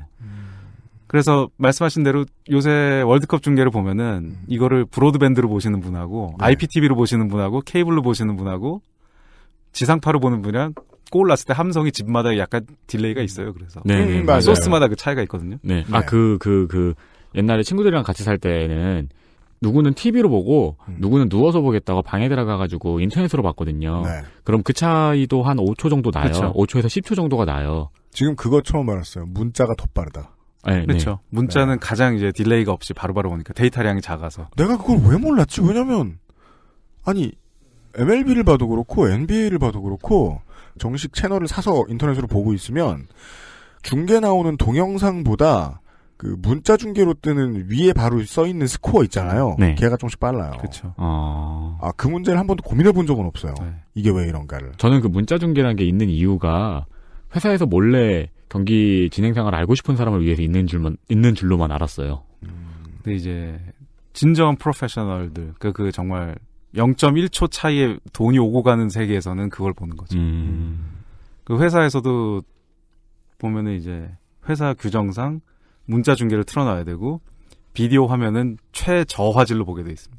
음, 가장 빠르게. 고화질로 보면 그게 어쨌든 delay가 더 생기기 때문에 중간에 막 돌아가고 이러면 난리 나니까. 네네. 그래서 oddsmaker라는 직업에 대해서 사람들이 환상을 갖는 게 매일 이제 스포츠 보고 좋아할 거라고 생각하지만 저는 실제로 매일 문자 중계를 보면서 네. 음, 문자와 최저화질 화면을 보면서 일을 하고 있습니다. 아, 그건 그냥 저 증권사에 그러게요. 그냥 뭐 이제 누가 누군지도 모릅니다. 그냥 홈과 어웨이만 알 뿐. 이게 어느 팀이 뭘 하는지. 음. 그냥 뭐 패스 몇 개, 그냥 이런 것만 생각하면서. 그건 XT 시절의 삼국지예요. 역시 이름만 보고. 아, 네, 그렇습니다. 기술의 진보는 늘 이런 식으로 노동자를 극단으로 몰아가고 있죠. 네. 시사 프로그램 한다고 뉴스 보면서 맨날 좋아할 거라고 생각하지 마십시오. 반기문 얼굴도 모른다고 할 수 있습니다. 네. 예. 그래서 이렇게 그 시간차 delay로 돈을 벌 수 있는 방법이 있는데요. 여기서 발상의 전환을 하면 네. 경기 결과를 미리 아는 게 아니고 경기 결과를 만들어 버리면 되죠. 그렇습니다. 그렇게 되면 이게 조작인 겁니다. 네. 미리 아는 것 대신에 내가 미리 짜서 그거를 실행해라. 음. 그렇게 해서 이제 내가 결과를 미리 아니까 음. 안다기보다 만든 거죠. 만들었으니까 거기 베팅을 하는데요. 그 재밌는 예가 있습니다. 그 영국에서 벌써 한 20년 전 일인데요. 네. 프리미어 리그에 이제 조명탑 사기라는 유명한 사건이 있었어요. 90년대네요. 네. 그 그러니까 이것도 초창기죠. 네. 그 인터넷 스포츠 베팅이 처음으로 생기기 시작할 무렵이었는데요. 음. 말레이시아 페낭에 전파상 아저씨가 있었습니다. 임씨라는 전파상 아저씨가 있었는데 네. 임씨였어요? 거기엔 네, 임씨가 임씨였습니다. 많아요. 네, 네. 거기 중국 분이라. 네. 근데 그분이 이제 EPL 베팅을 많이 하던 분이었는데 이제 네. 뭐 우연히 친구 중에 조폭도 있고 음. 뭐 그래서 불법 베팅을 하시다가 돈을 계속 잃는 거예요. 네. 예. 그래서 아 돈을 따는 방법을 연구하다가 그분이 찾아낸 방법은 영국으로 직접 가서 음. 조명탑을 꺼버리는 거였습니다. 그분은. 어머. 그래서 당시의 스포츠 베팅 약관은 경기가 60분이 넘으면은 경기가 중단돼도 음. 중단 당시 스코어를 적용해서 돈을 주게 돼 있거든요. 어. 그래서 그분은 항상 언더독에 돈을 걸고, 그러니까 못하는 팀에 돈을 걸고, 음. 못하는 팀에 플러스 핸디캡에 돈을 걸어놓고, 네. 60분이 지났을 때 동점이거나 이기고 있다. 음. 그럼 그냥 조명을 끊는 거예요. 와. 그러면 자기는 상금을 받는 거죠. 음. 이게 초기적이라는 말씀이 이해가 된 게 결과를 가장 빨리 알아본 다음에 그 결과를 나만 가지는 것은 네. 고전적인 방법이라고 보면 드라마 용어로 말할 것 같으면 4차원의 벽을 깼다라고 보여요. 음. 예. 그러니까 그 넘어갈 수 없는 드라마와 현실의 벽을 넘어갔다고 할까요? 네, 이 그러니까- 각본 없는 드라마를 각본을 만들기로 한 네. 그러니까 예. 이전 같은 경우는 경기 결과에 영향을 미치지 않는 그렇죠. 방법이었고 지금 이 사건 같은 경우에는 경기 결과에 처음으로 영향을 미친 그렇죠. 사건이네요. 그래서 네. 내가 틀릴 것 같으면 59분 전에 끊어버리고, 음. 그러면 이제 환불이고, 음. 아. 내가 맞출 것 같으면, 근데 좀 기다리다가 골을 먹어서 질 수도 있잖아요. 네. 60분이 지나서 내가 원하는 결과물은 그 상태에서 끊어버리고 상금을 받는 거죠. 현대의 승부 조작이 거기에 들어가는 아, 작가이자 배우들을 직접 포섭한다면 여기에서는 그냥 그것까진 생각 안 해봤고 신의 역할을 하는 게 좋겠어. 네. 그래서 천재지변으로 네. 그렇습니다. 그래서 이분이 전파상 기술을 살려서 그 조명을 끊는 그거를 이제 무선 조종으로 만들었다고 그러더라고요. 우와. 그리고 그거를 몰래 설치해 놓고 경기가 이제 내 마음대로 진행된 순간 그걸 끊어버리는. 무슨 페낭에서 리버풀을 움직인 그런 건 아니죠. 아 이제 그분이 가셨죠. 가서 네, 이제 그죠. 직접 설치하시고 네. 전화로 통화하면서 네. 야 지금 이제 상금 받을 수 있지? 그러면 이제 바로 음. 내리는. 아, 아, 저는 또 저 같은 문돌이는 멍청하게 아 그럼 그 아저씨는 조명탑 뒤에 매달려 있다가 밑벌을 들고 전선에 빨간 선을 이렇게 대고 있다가 빨깍 하고 끊었겠네라고 상상하고 있었거든요. 아, 거의 이거는 너의 이름은 너의 배팅은. 네.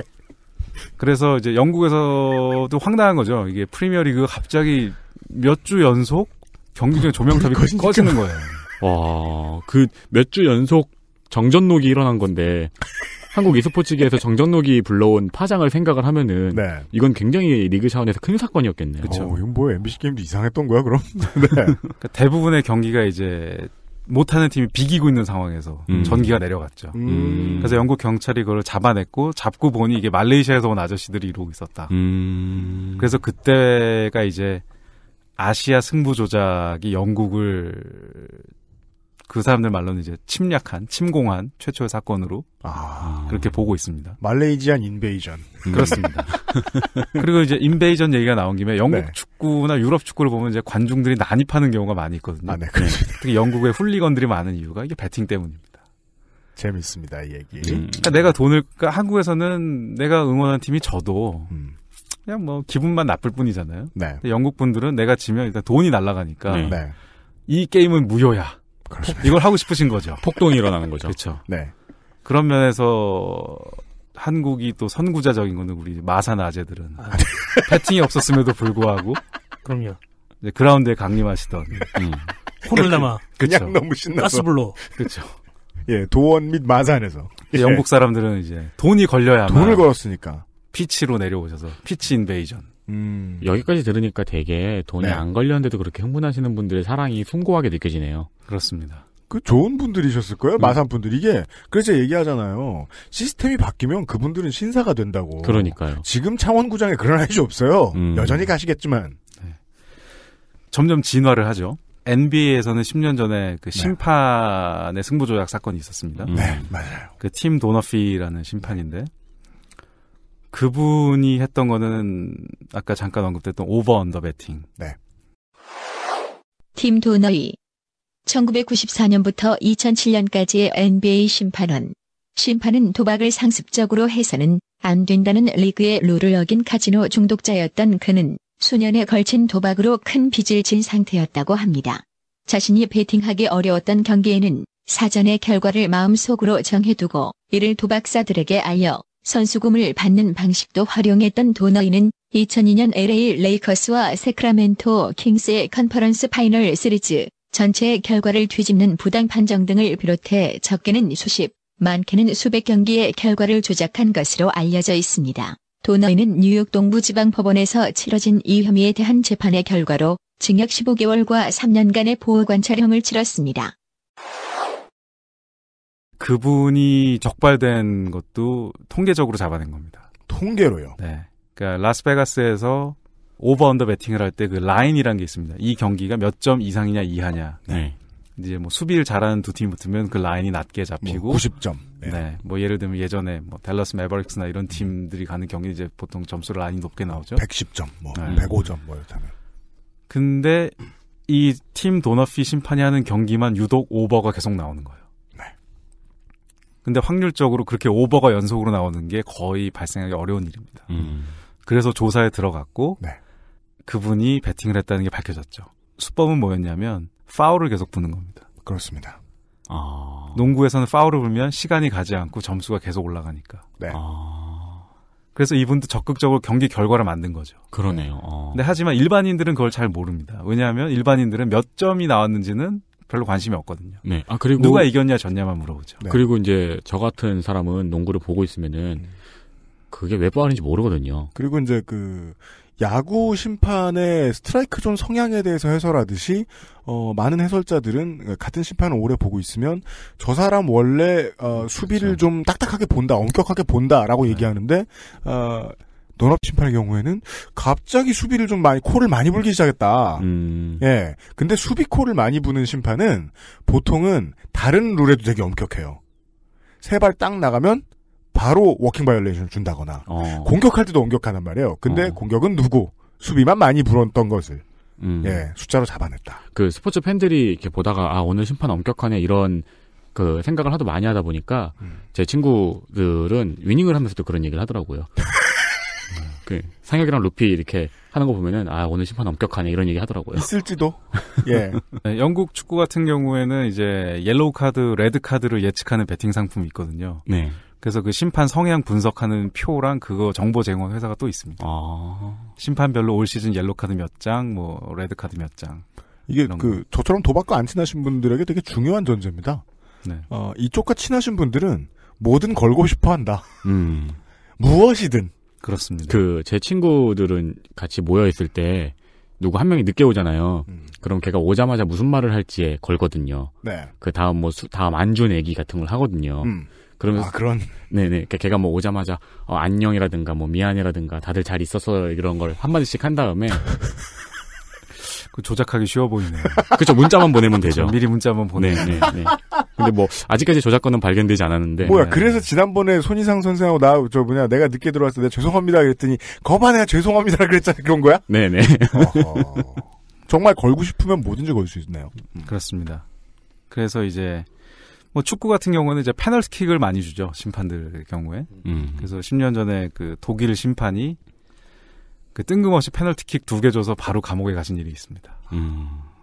그래서 이런 식으로 경기 결과를 이제 만드는 시대로 돌아온 거죠. 음. 그래서 뭐 결론적으로 승부 조작은 결국 배팅을 위해서 배팅을 위한 결과를 만든다 이렇게 이해하시면 되고요. 여기서부터는 이제 베팅과 상관없는 사람들도 피해를 보기 시작하네요. 그렇죠. 음. 그러니까 왜냐하면 반대쪽에 돈을 건 사람들은 무조건 이룰 수밖에 없는 경기를 한 거니까요. 그것도 그렇고 베팅과 네. 상관없이 스포츠를 보는 팬들도 재미없는 경기를 봐야 되는. 음. 그렇죠. 또는 그 납득할 수 없는 경기 결과가 네. 나오니까요. 음. 그래서 이제 스포츠 베팅이 승부 조작을 키우는 토양이라는 거를 이제 알게 됐으니까 스포츠 베팅 자체에 대해서 조금 더 이해해 볼 필요가 있습니다. 음. 그렇습니다.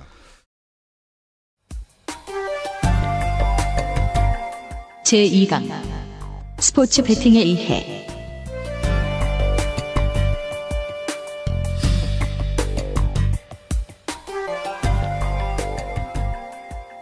이름부터 한번 보시면은 스포츠 베팅, 스포츠와 베팅이라는 두 개의 상반된 요소가 있는 겁니다.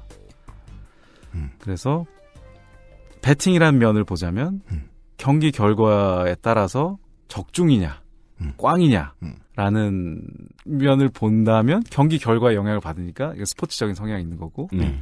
결과에 따라서 돈을 그러니까 불확실한 미래 경기 결과에 돈을 걸어서 돈을 벌거나 잃는다는 건 사실 금융 성격의 상품이거든요. 베팅. 음, 그렇기 때문에 스포츠면서 금융의 성격을 띈다고 보시면 됩니다. 아. 그래서 실제 영국은 쓰레기 펀드군요.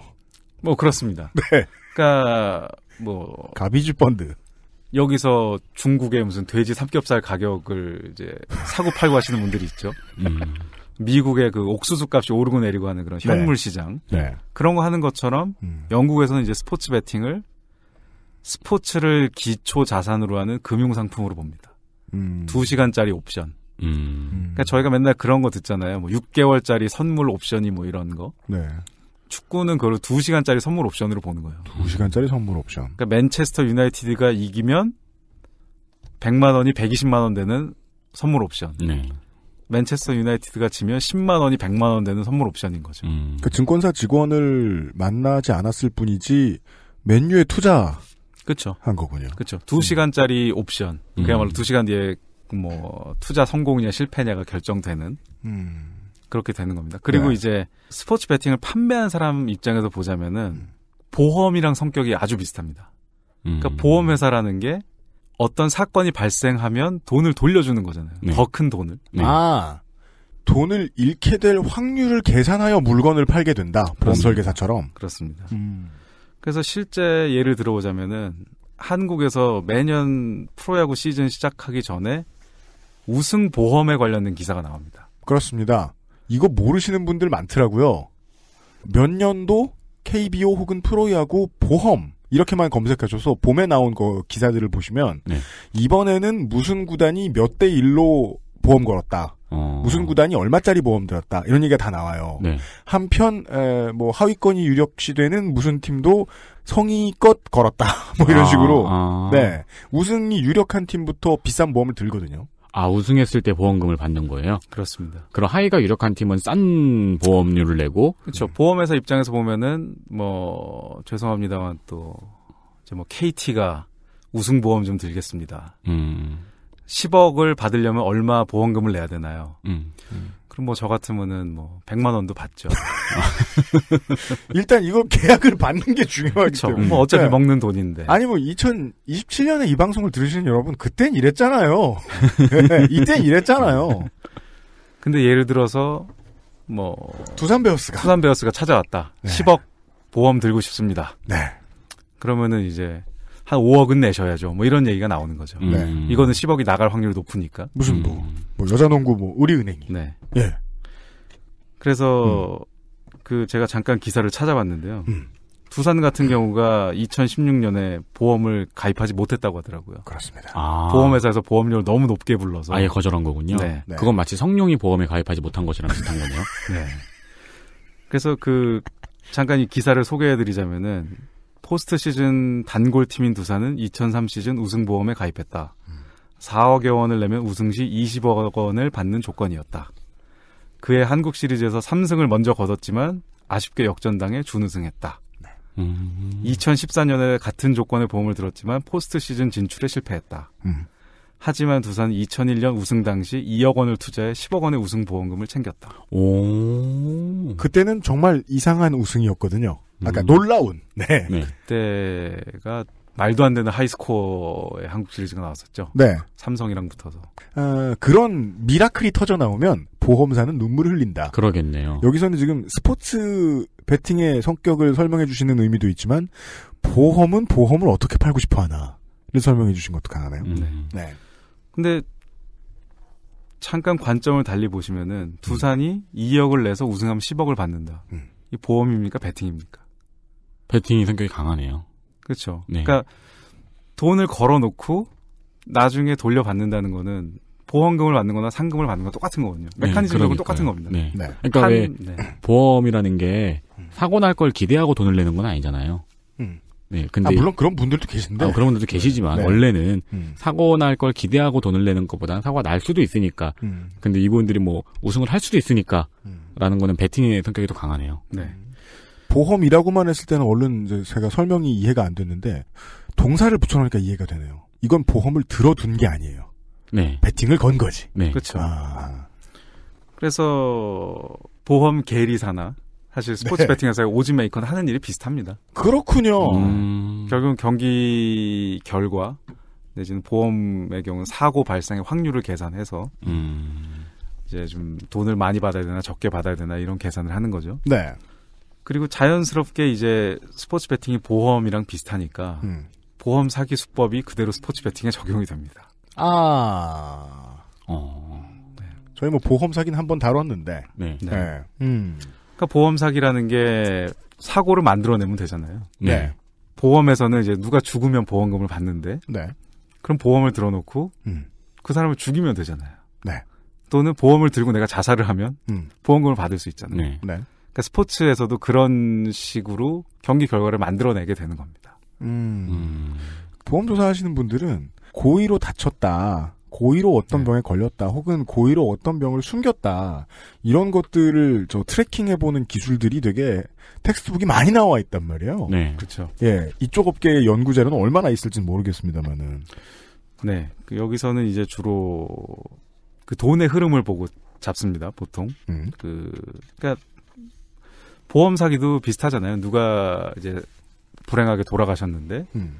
알고 보니 지인이 한 달 전에 그 사람한테 10억짜리 보험을 들어놨다. 음, 음. 그러면 아이 사람이 죽였겠구만. 뭔가 수사가 착수가 바로 되는- 용의 선상에 네. 오르죠. 보험을 음. 든 사람들이. 음.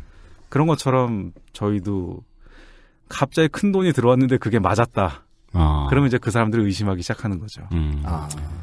그래서 이 이런 상품에 따라서 보험 상품이 나오면은 그에 맞는 보험 사기가 나오듯이 음. 스포츠 베팅도 뭔가 새로운 상품이 나오면 새로운 사기가 등장합니다. 음. 그래서 이제 좀 여기서는 재미있게 제가 좀 황당한 예를 좀 들어드리겠는데요. 네. 유럽 축구도 그렇고 지금 다음 주인가요? 그 슈퍼볼. 아, 네. 슈퍼볼은 네, 곧 이미 있었나요? 슈퍼볼은 코앞입니다. 네, 네. 코앞에 있는 슈퍼볼 네. 같은 경우에 음. 흥미로운 배팅 중에 이제 스트리킹에 관한 배팅이 있어요. 그러니까 스트리킹이라고 하면 스트리킹을 선수가 하는 게 아니죠. 그쵸. 선수는 저는 뭐 이만수 감독이 한 번 했던 거 기억이 나는데 말고는 없어요. 그건 아, 그 팬들과의 약. 스트리킹이 제가 생각하는 스트리킹이 맞아요? 그건 그리고 이만수 감독의 경우에는 팬들과의 약속이었기 때문에 배당률이 없을 거예요. 네. 세미 스트리킹이었죠. 음. 네. 아, 저는 또 뭔가 스포츠 영어인가 보다 하면서 들었는데, 그게 그거였어요? 네.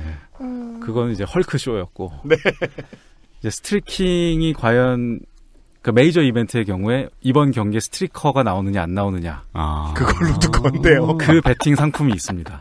그러면은 본인이 하면 되잖아요. 그렇습니다. 그래서 자기가 돈을 걸고 뛰어드는 분들이 나오는 거죠. 아, 대단합니다. 할만, 할만 하겠네. 네. 지금 아. 그 2월 초 현재 제가 배팅 마켓 확인해 보니까 네. 이번 슈퍼볼에서 스트리킹을 하시는 분이 나오는 배당률이 17배예요. 오. 그러니까 100만 원을 거시면은 그리고 한번 쪽팔린 거 감수하면 1,700만 원을 버시는 거죠. 근데 그걸 또 이제 방비책이 있겠죠. 본인이 걸고 본인이 하면. 그렇죠. 근데 이제 전통적으로 스트리킹으로 유명하신 분들이 몇 분 계세요, 영국에서. 전문으로 하시는 분들이 계신데 네. 이쪽으로 뛰어야 잘 안 잡혀. 그분들은 이제 전문적으로 말하자면 이제 one source multi use를 또 하세요. 어떡해요? 그 분들은 이제 내가 100만 원 베팅을 하고 뛰어들면서 음. 네. 등짝에 광고를 유치합니다. 오. 등에 예를 들면 뭐 XSFM. 그래서 한, 한 거기서 한 몇십만 원 받고 아, 저는 그냥 one source multi use라길래 확실히 전 돈에 어두운가 봐. 그냥 그거 배팅 이기고 네. 그냥 자기는 뭐 필수 요소가 되는가 뭐이 정도만 생각했는데. 거기다 광고를 또, 뭐 등에 많이 하세요. 근데 이제 부위별로 가격이 또 다릅니다. 어. 등이 제일 높겠네요. 그쵸 이제 예전에는 한때 엉덩이 쪽이 가격이 좀 높았는데 음. 언론사들이 모자이크를 좀 많이 하면서 거기는 값이 좀 내려가고 음. 등은 모자이크 안 하고 자주 나오니까 와. 거기가 좀 많이 높죠. 그리고 이제 배팅해서 이제 당하고만 있을 수는 없잖아요. 근데 네. 이런 배팅을 하면은 솔직히 누가 여기 100만 원 배팅을 하겠습니까? 누가 옷 벗고 뛰어드는지 안 뛰어드는지 뭐 네. 재미로 해야 뭐 만 원 뭐 이런데 네. 갑자기 100만 원 들어왔다. 그럼 100% 누가 뛰어든다는 얘기거든요. 어. 배팅회사 입장에서 보면은 어. 아니면 그 이 건 사람의 친구가 뛰어들겠죠. 아니면은 이제 뭔가 조폭이 고용해서. 그쵸 아니면 왕따 당하는 친구를 이제 강제로 들여보내고 음, 음. 돈을 걸 수도 있죠. 네. 그러면 이제 배팅 회사는 이거 어떻게 막느냐? 이제 그 팀에 전화를 겁니다. 아마 오늘 한 명 갈 겁니다. 아. 아, 배팅에서 하나 아, 아는 거군요. 그러니까 배팅 회사는 지금 그 거액의 배팅을 보고 아. 그 팀에 전화를 걸어서 아마 오늘 한 명 들어갈 겁니다. 음. 저희가 한 50만 원 쏴 드릴 테니 음. 알바 한 3명 더 고용해 주세요. 경비를 늘려주십시오. 그러니까 막아 주세요. 중요한 일반 원칙을 발견했습니다. 배팅 업체는 자신들도 흑심을 품지 않는 이상 기본적으로 이런 부정행위를 무조건 막아야 된다. 네. 무조건 막아야 되는 입장이다. 그렇죠. 막지 않으면은 뭐 일단 돈을 잃으니까요. 네. 그렇다면은 돈 수준이 아니라 이 슈퍼볼 같은 큰 대회라면 경기라면 지금 올해는 그 텍산즈의 홈입니다. 휴스턴입니다. 네. 올해 슈퍼볼은 그러면 정말 텍사스의 경찰 아니라 군인들까지 불러다가 그러니까 그 아니 12만 명, 13만 명 규모의 경기장에서 streaker 하나를 잡으려면 네. 얼마나 많은 병력이 필요할지 저는 상상도 할 수 없는데요. 그것도 그분들이 장인이잖아요.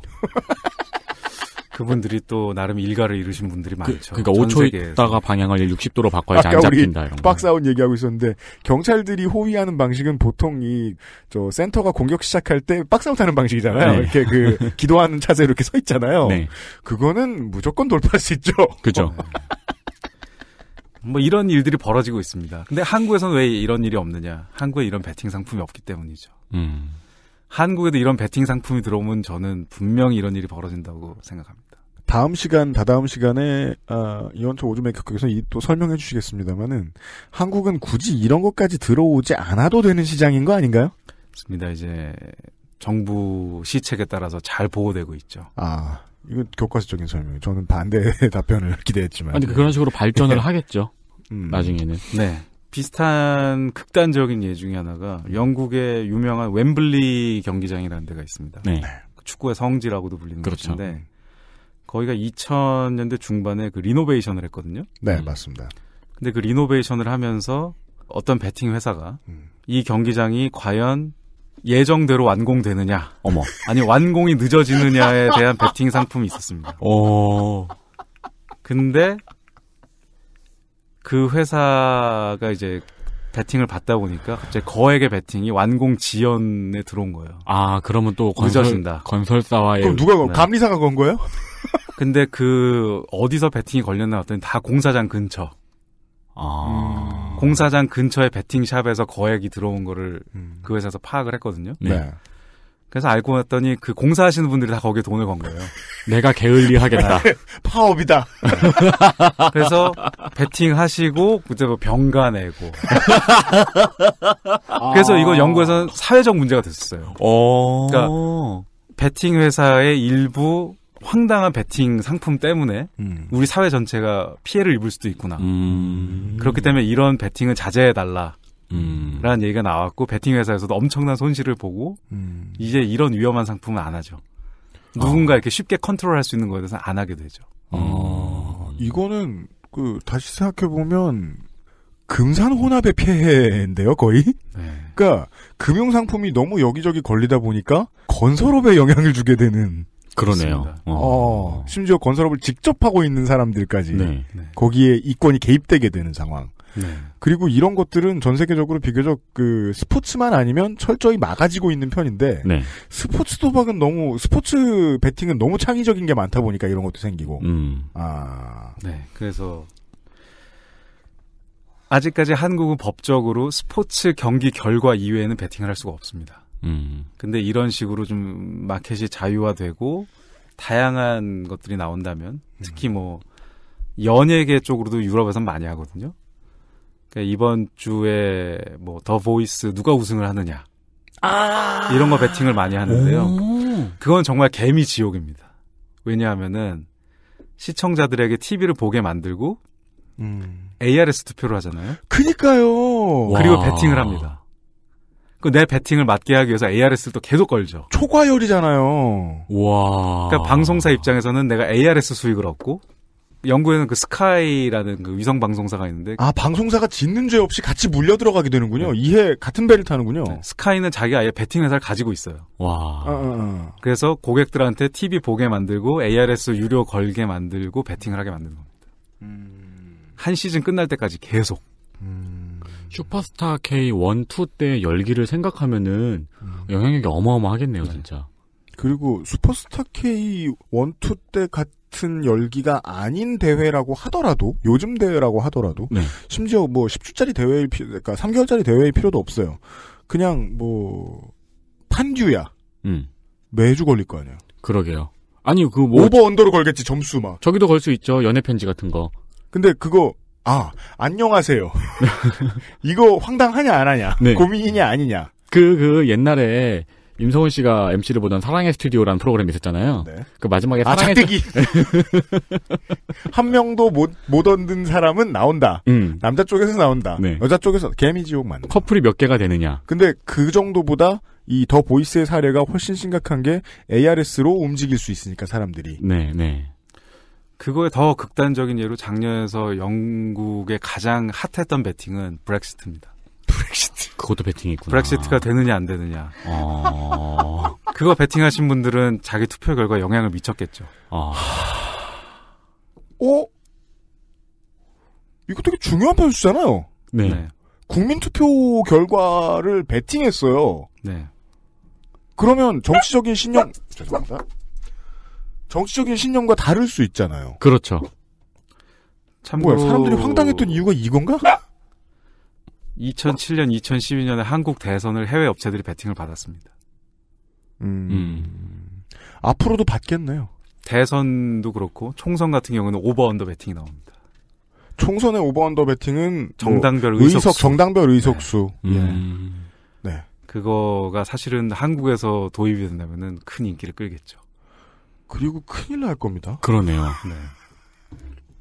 아, 그, 네네네. 그 정치적 신념하고 무관하게 그냥 음. 투표를 할 수 있게 만, 그 브렉시트 같은 경우에도 그랬겠네요. 음. 배당률 높은 쪽에 걸어놓고 그거에 투표를 하는 어. 네. 그런 분들이 나오게 되죠. 네. 군소전당의 약진이 기대되네요. 그렇습니다. 아, 세상에. 한나라당 뭐 이런 데 돈 네. 거시고 아유, 베팅하는 분들 근데 나올 수도 저, 있죠. 저 노동당이나 녹색당 지지자들은 이런 거 박지 않단 말이야. 맞아요. 그러면 저 친반 통일되는 거시기들만 가자 무슨 당 있지 않나요? 하여튼 저는 역배를 갈 겁니다. 가자 대국민 꽃밭등도 가시나요? 네, 무조건 갑니다. 제가 베팅한 곳이 나의 조국입니다. 이렇게 될 거 아니야. 그렇습니다. 오 이게 만약에 미국 내에서도 이렇게 되면 캐렉시드 투표하고 영향을 미치겠는데요? 음, 음, 네. 그 지금 생각하는 저 미연방이 생각하는 캘렉시트의 최악의 결과는 서부 해안이 다 빠져나가는 거잖아요. 오레곤주, 워싱턴주까지 음. 될지도 모르겠는데 어. 이게 영향을 끼치면 될 수도 있습니다.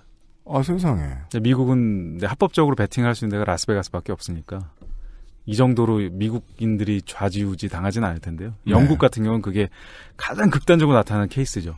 음. 음. 그러니까 베팅이 뭐가 하나 나오면은 나라 전체가 움직이는. 음. 그리고 그거를 항상 결과를 조작하는 사람이 있고 브렉시트는 어떤 게 더 배당이 높았을까요? 탈퇴가 훨씬 높았습니다. 아, 배당이요? 그 그러니까- 많은 사람들이 탈퇴가 안 나올 거라고 생각을 했던 거네요. 그렇죠. 그러니까 잔류 배당이 제가 기억하기로 마지막 배당이 1.2배 정도였고 네. 탈퇴는 6, 7배까지 나왔었어요. 그럼 대박이 터진 거네요? 그렇죠. 그 베팅 하신 분들은 근데 대부분이 잔류에 돈을 걸었기 때문에 네. 배당 1.2까지 내려갔던 거죠. 아, 근데 그게 뒤집어졌고 음. 거기서 이제 짜릿한 손맛을 보신 분들은 또 다음 국민 투표를 기다리고 계시겠죠. 어, 인간이란 매우 나약해서 그걸, 그게 정치적 신념이 될 수도 있거든요, 반대로. 근데 원래 그런 쪽으로 신념이 나약해지는 사람들은 실제로 보면 제일 열정적이고 부지런한 사람들이거든요. 네. 그 사람들 지금 글래스고로 달려가서 재투표하자고 하고 있을 거예요. 음, 음. 우리 나가자고 우리 음. 영국에서 그것도 마켓이 크게 나오죠. 어, 시- 새로운 세상을 배우고 있습니다. 그럽니다. 네. 네. 그렇습니다. 매우 그럽니다. 네. 아유, 말이 꼬이네요. 그래서 이제 이런 황당한 예 중에 한국에 제가 의심한 예가 있습니다. 이거는 제가 정확하게 뭐 근거를 갖고 있지는 않습니다만 개인적으로 수상해 보이는. 개인적으로 의혹을 가지고 있는 게 네. 2014년에 한국 프로야구에서 갑자기 고득점 경기가 많이 나왔습니다. 2013, 4년부터의 트렌드긴 합니다. 타고 투죠. 네. 득점도 많아졌어요. 근데 그때가 공교롭게도 한국에서 오버언더 배팅이 들어온 그 해입니다. 음. 그 해에 유명했던 모 심판이 개인적 도박과 부채 관련 문제로 사임을 했습니다. 네. 이름은 기억 안 나도 그런 일이 있었다는 걸 기억하시는 야구팬 여러분들은 많으실 것이고, 음, 그, 아까도 그 통계를 통해서 잡아냈다는 말씀을 하셨잖아요. 네. 그러니까, 어쨌든 간에 그, 이것을 업으로 가졌던 사람이 이 통계를 발견했다는 거는 의미가 없지 않네요. 저는 KBO를 사랑합니다. 저도 그래요. 네. 네. 사랑하니까 하는 말이죠. 네, 저는 피 관심. 끓는 마음으로. 음. 네. 네. 마지막으로 들은 사례가 아, 추측에 지나지 않았고요. 네, 네. 이렇게 정리해야 될 것 같고요. 네. 네. 아, 요런 것들을 배웠습니다. 어, 금융상품, 특히 그 중에서도 보험 설계의 파생, 음. 으로서의 특징을 가지고 있고, 경마의 자손이고, 경마가 씨앗을 뿌렸고, 네. 전파 전달 속도, IT 기술 발전과도 그 발전 속도의 궤를 같이 한다. 네. 라는 것을 보았습니다. 한편으로는 경기 결과에 영향을 미치느냐 미치지 않느냐로 분류할 수도 있을 것 같아요. 그렇습니다. 네. 근데 그렇다고 하더라도 여전히 죄로 물을 수 없거나 도덕성에까지 흠결을 이야기하지 않을 수도 있는 저주기도 있지만 네. 네, 말씀해주신 경마 결과 일찍 받아보기 트릭 이후로는 음. 예 모든 것이 달라져서 죄가 되는 베팅이 생겼다. 그 점점 적극적으로 변하고 있는 거죠. 왠지 저희는 이 스포츠 승부조작에 대한 주제로 이야기를 시작한다고 해서 네. 처음에 뭐 스타리그 얘기는 하고 음. 하고 있었는데 음. 브렉시트까지 이게 갈 줄은 예상하지 못했네요. 네. 왜냐면 브렉시트도 여기서 설명을 제가 그이 연초 오드메이커 그 들은 게 맞는 게 지금 여기서 듣는 얘기인 게 맞는 게 영국이 좀 이 분야의 천국이고 그렇죠. 그 영국인들이 한국 가서 하는 말은 그겁니다. 여기는 어, 흡연자의 천국이라고. 왠지 모르겠어요. 파생 보험 상품으로서의 역할을 어, 스포츠 베팅이 너무나 잘 해주었고 네. 온상이 되면 창의성의 씨앗이 되었던 창의성의 밑, 그 밑거름을 엄청나게 제공해요. 음. 그리고 창의성은 다양한 파생 상품을 더 만들잖아요. 음. 예. 스포츠 베팅에서 보고 배운 물이, 어, 이런 5만 가지 베팅, 심지어, 에, 이명박 뽑고 박근혜 뽑은 대선에 대한 베팅에도 네. 영향을 끼치긴 했을 것이다. 음. 라는 것까지 봤습니다. 생각보다 세상의 많은 부분에 영향을 끼치는 사안이었네요. 저희도 뭔가 할 수 있을까요? 이번 주? 출연자에 대한 배팅, 뭐 환타님이 나오느냐, 손혜상 씨가 나오느냐, 음. 그거에 대한 배팅이라든가.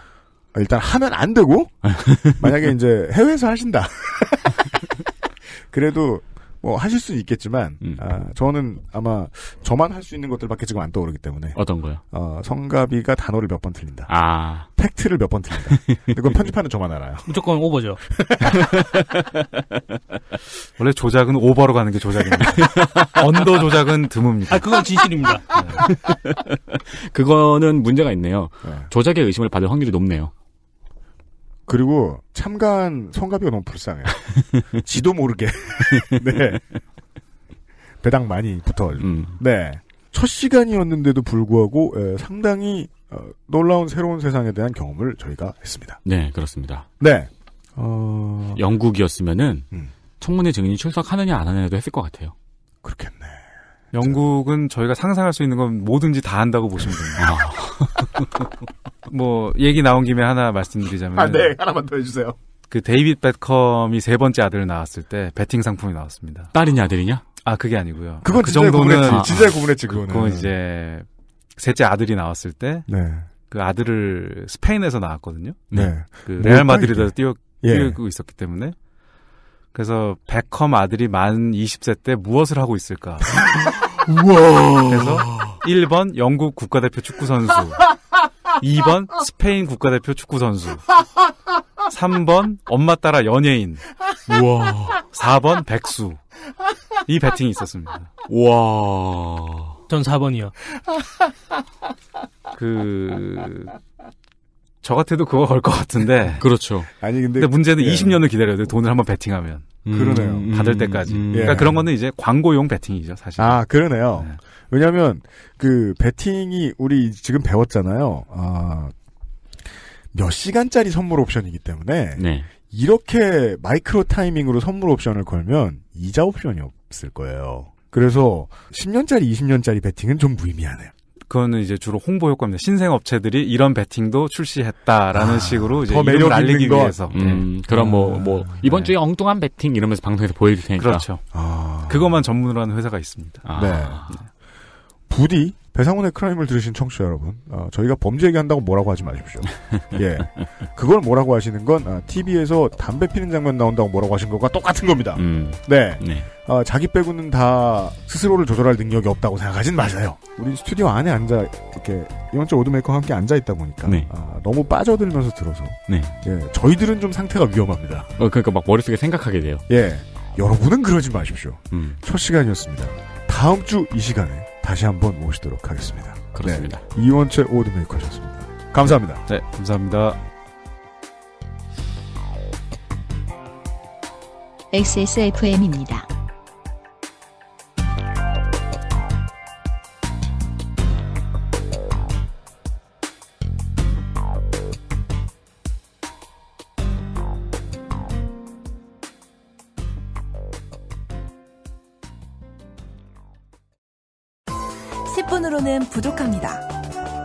실력을 충분히 높일 수 있는 최적의 시간. 25분간의 전화 영어. Perfect 25.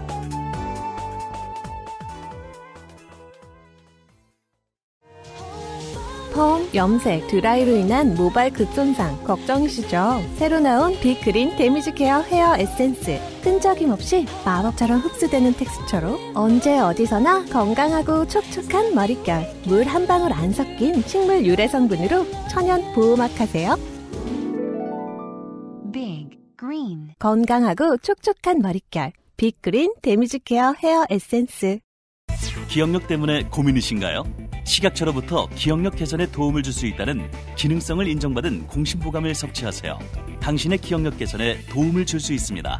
공심보감과 함께라면 삶의 질이 달라집니다. 네. 이원채 오즈메이커께서 수고를 해주셨습니다. 이분이 진짜 멀리 계신 분인데 네. 정말 정말 어렵게 모셨습니다. 네. 다시 한번 우리 어, 환타 인재영입 위원장께 감사를 드리고요. 네, 수염이 비슷하십니다. 훨씬 깨끗하지. 아, 그건 그래요. 아, 맞아. 이원채 오즈메이커는 트리밍을 따로 하시는 분이고. 아, 맞습니다. 예, 환홍은 그냥 저 그냥 우림지대죠. 네. 아, 제가 큰 실수를 했네요. 왜냐면은 저도 옛날에 수염 기를 때 네. 이제 수염 기르는 사람이 주변에 많잖아요. 네. 근데 이거 정리 안 하고 수염 기르는 수염 기른다는 사람 되게 무시했거든요. 네. 수염 정리하는 게 얼마나 힘든 일인데. 그니까요. 네. 혐오스런 환타홍의 일생. 저는 그런 말은 하지 않았습니다. 아, 오늘은요, 합법적인, 도덕적으로 크게 손상, 그러니까 도덕적으로 크게 흠될 것 없는 상황에서 저주기를 할 수 있다. 음. 일부러 질 수도 있다. 네. 라는 이야기. 가, 라는 이야기를 들었고요. 예. 지는 것이 혹은 최선을 다하지 않고 일부러 최선을 다하지 않고 플레이하는 것이 어떤 경우에 나쁜 짓인가 에 대한 아주 날카로운 구분을 들었습니다. 네, 네. 네. 예. 아, 그 초반에 음. 그 거울을 이용한 방법이라든가 음. 하는 방법부터 차근차근 들어서 그런지 네. 이게 어떤 여타의 다른 이렇게 뭐 빠기치거나 속이 답답한 문제점을 듣는 기분보다는 아, 시원해요. 아주 재밌는 영화를 보는 예. 기분이 좀 들었어요. 아, 이래서 이게 다, 어, 가산을 탕진하고 손모가지를 날, 날려버리는 거구나. 네, 네. 재밌었어요. 네, 그 재미의 하이라이트가 아마 그 라이트를 꺼버리는. 아, 라이트 끄기. 네. 네. 저희와 비슷한 느낌 받으셨을지 아니면 뭐 집안에 이런 것 때문에 집안을 날려먹은 분이 계시면 또 음, 분노의 댓글 쓰시고 그러시는데 그렇겠죠. 그건 당연합니다. 네. 그 댓글 하나로 분노가 풀리지 않을 것입니다. 예. 그 다만 역시 그 그런 분들을 제외하면 어, 이해하는 즐거움이란 대단하네요. 우리 같은 문외한들이. 네. 네. 예, 세상을 움직이는 방법을 이번 달에 배우게 될 것 같습니다. 다음 주 금요일에도 이원채 오즈메이커를 다시 만나 뵙도록 하겠습니다. 굉장히 기대되고 흥미진진합니다. 그렇습니다. 어, 그런 얘기가 있었습니까? 보, 아. 볼은 다 채워 오셨나요? 네, 그렇습니다. 다녀왔습니다. 아, 저는 손이상입니다. 어, 아, 뭐, 손 잘리는 얘기 있었나요? 아, 네. 그럼요. 어. 네. 손 잘리는 수준이 아니죠. 10억을 잃어버리는 이야기. 음, 네. 그렇습니다. 네. 저는 그래도 그 도박하시는 분들을 김성근 감독보단 낫다고 봐요. 뭐라고요? 어, 네, 그런 저의 어, 의견이었습니다. 아니 근거를 대요. 어, 없어요, 그냥. 아, 어, 하나 편이었나 봐. 네. 포- 포켓몬을 잡아야 되는데. 여러분들에게도 지적인 즐거움의 시간이 됐길 바라면서. 예. 어, 우선 다음 주 목요일에 새로운 이야기로 다시 찾아뵙기로 하지요. 윤세민과 유현수와 김상조 기술행정관이었습니다. 별탈 없는 주말 되십시오. 감사합니다.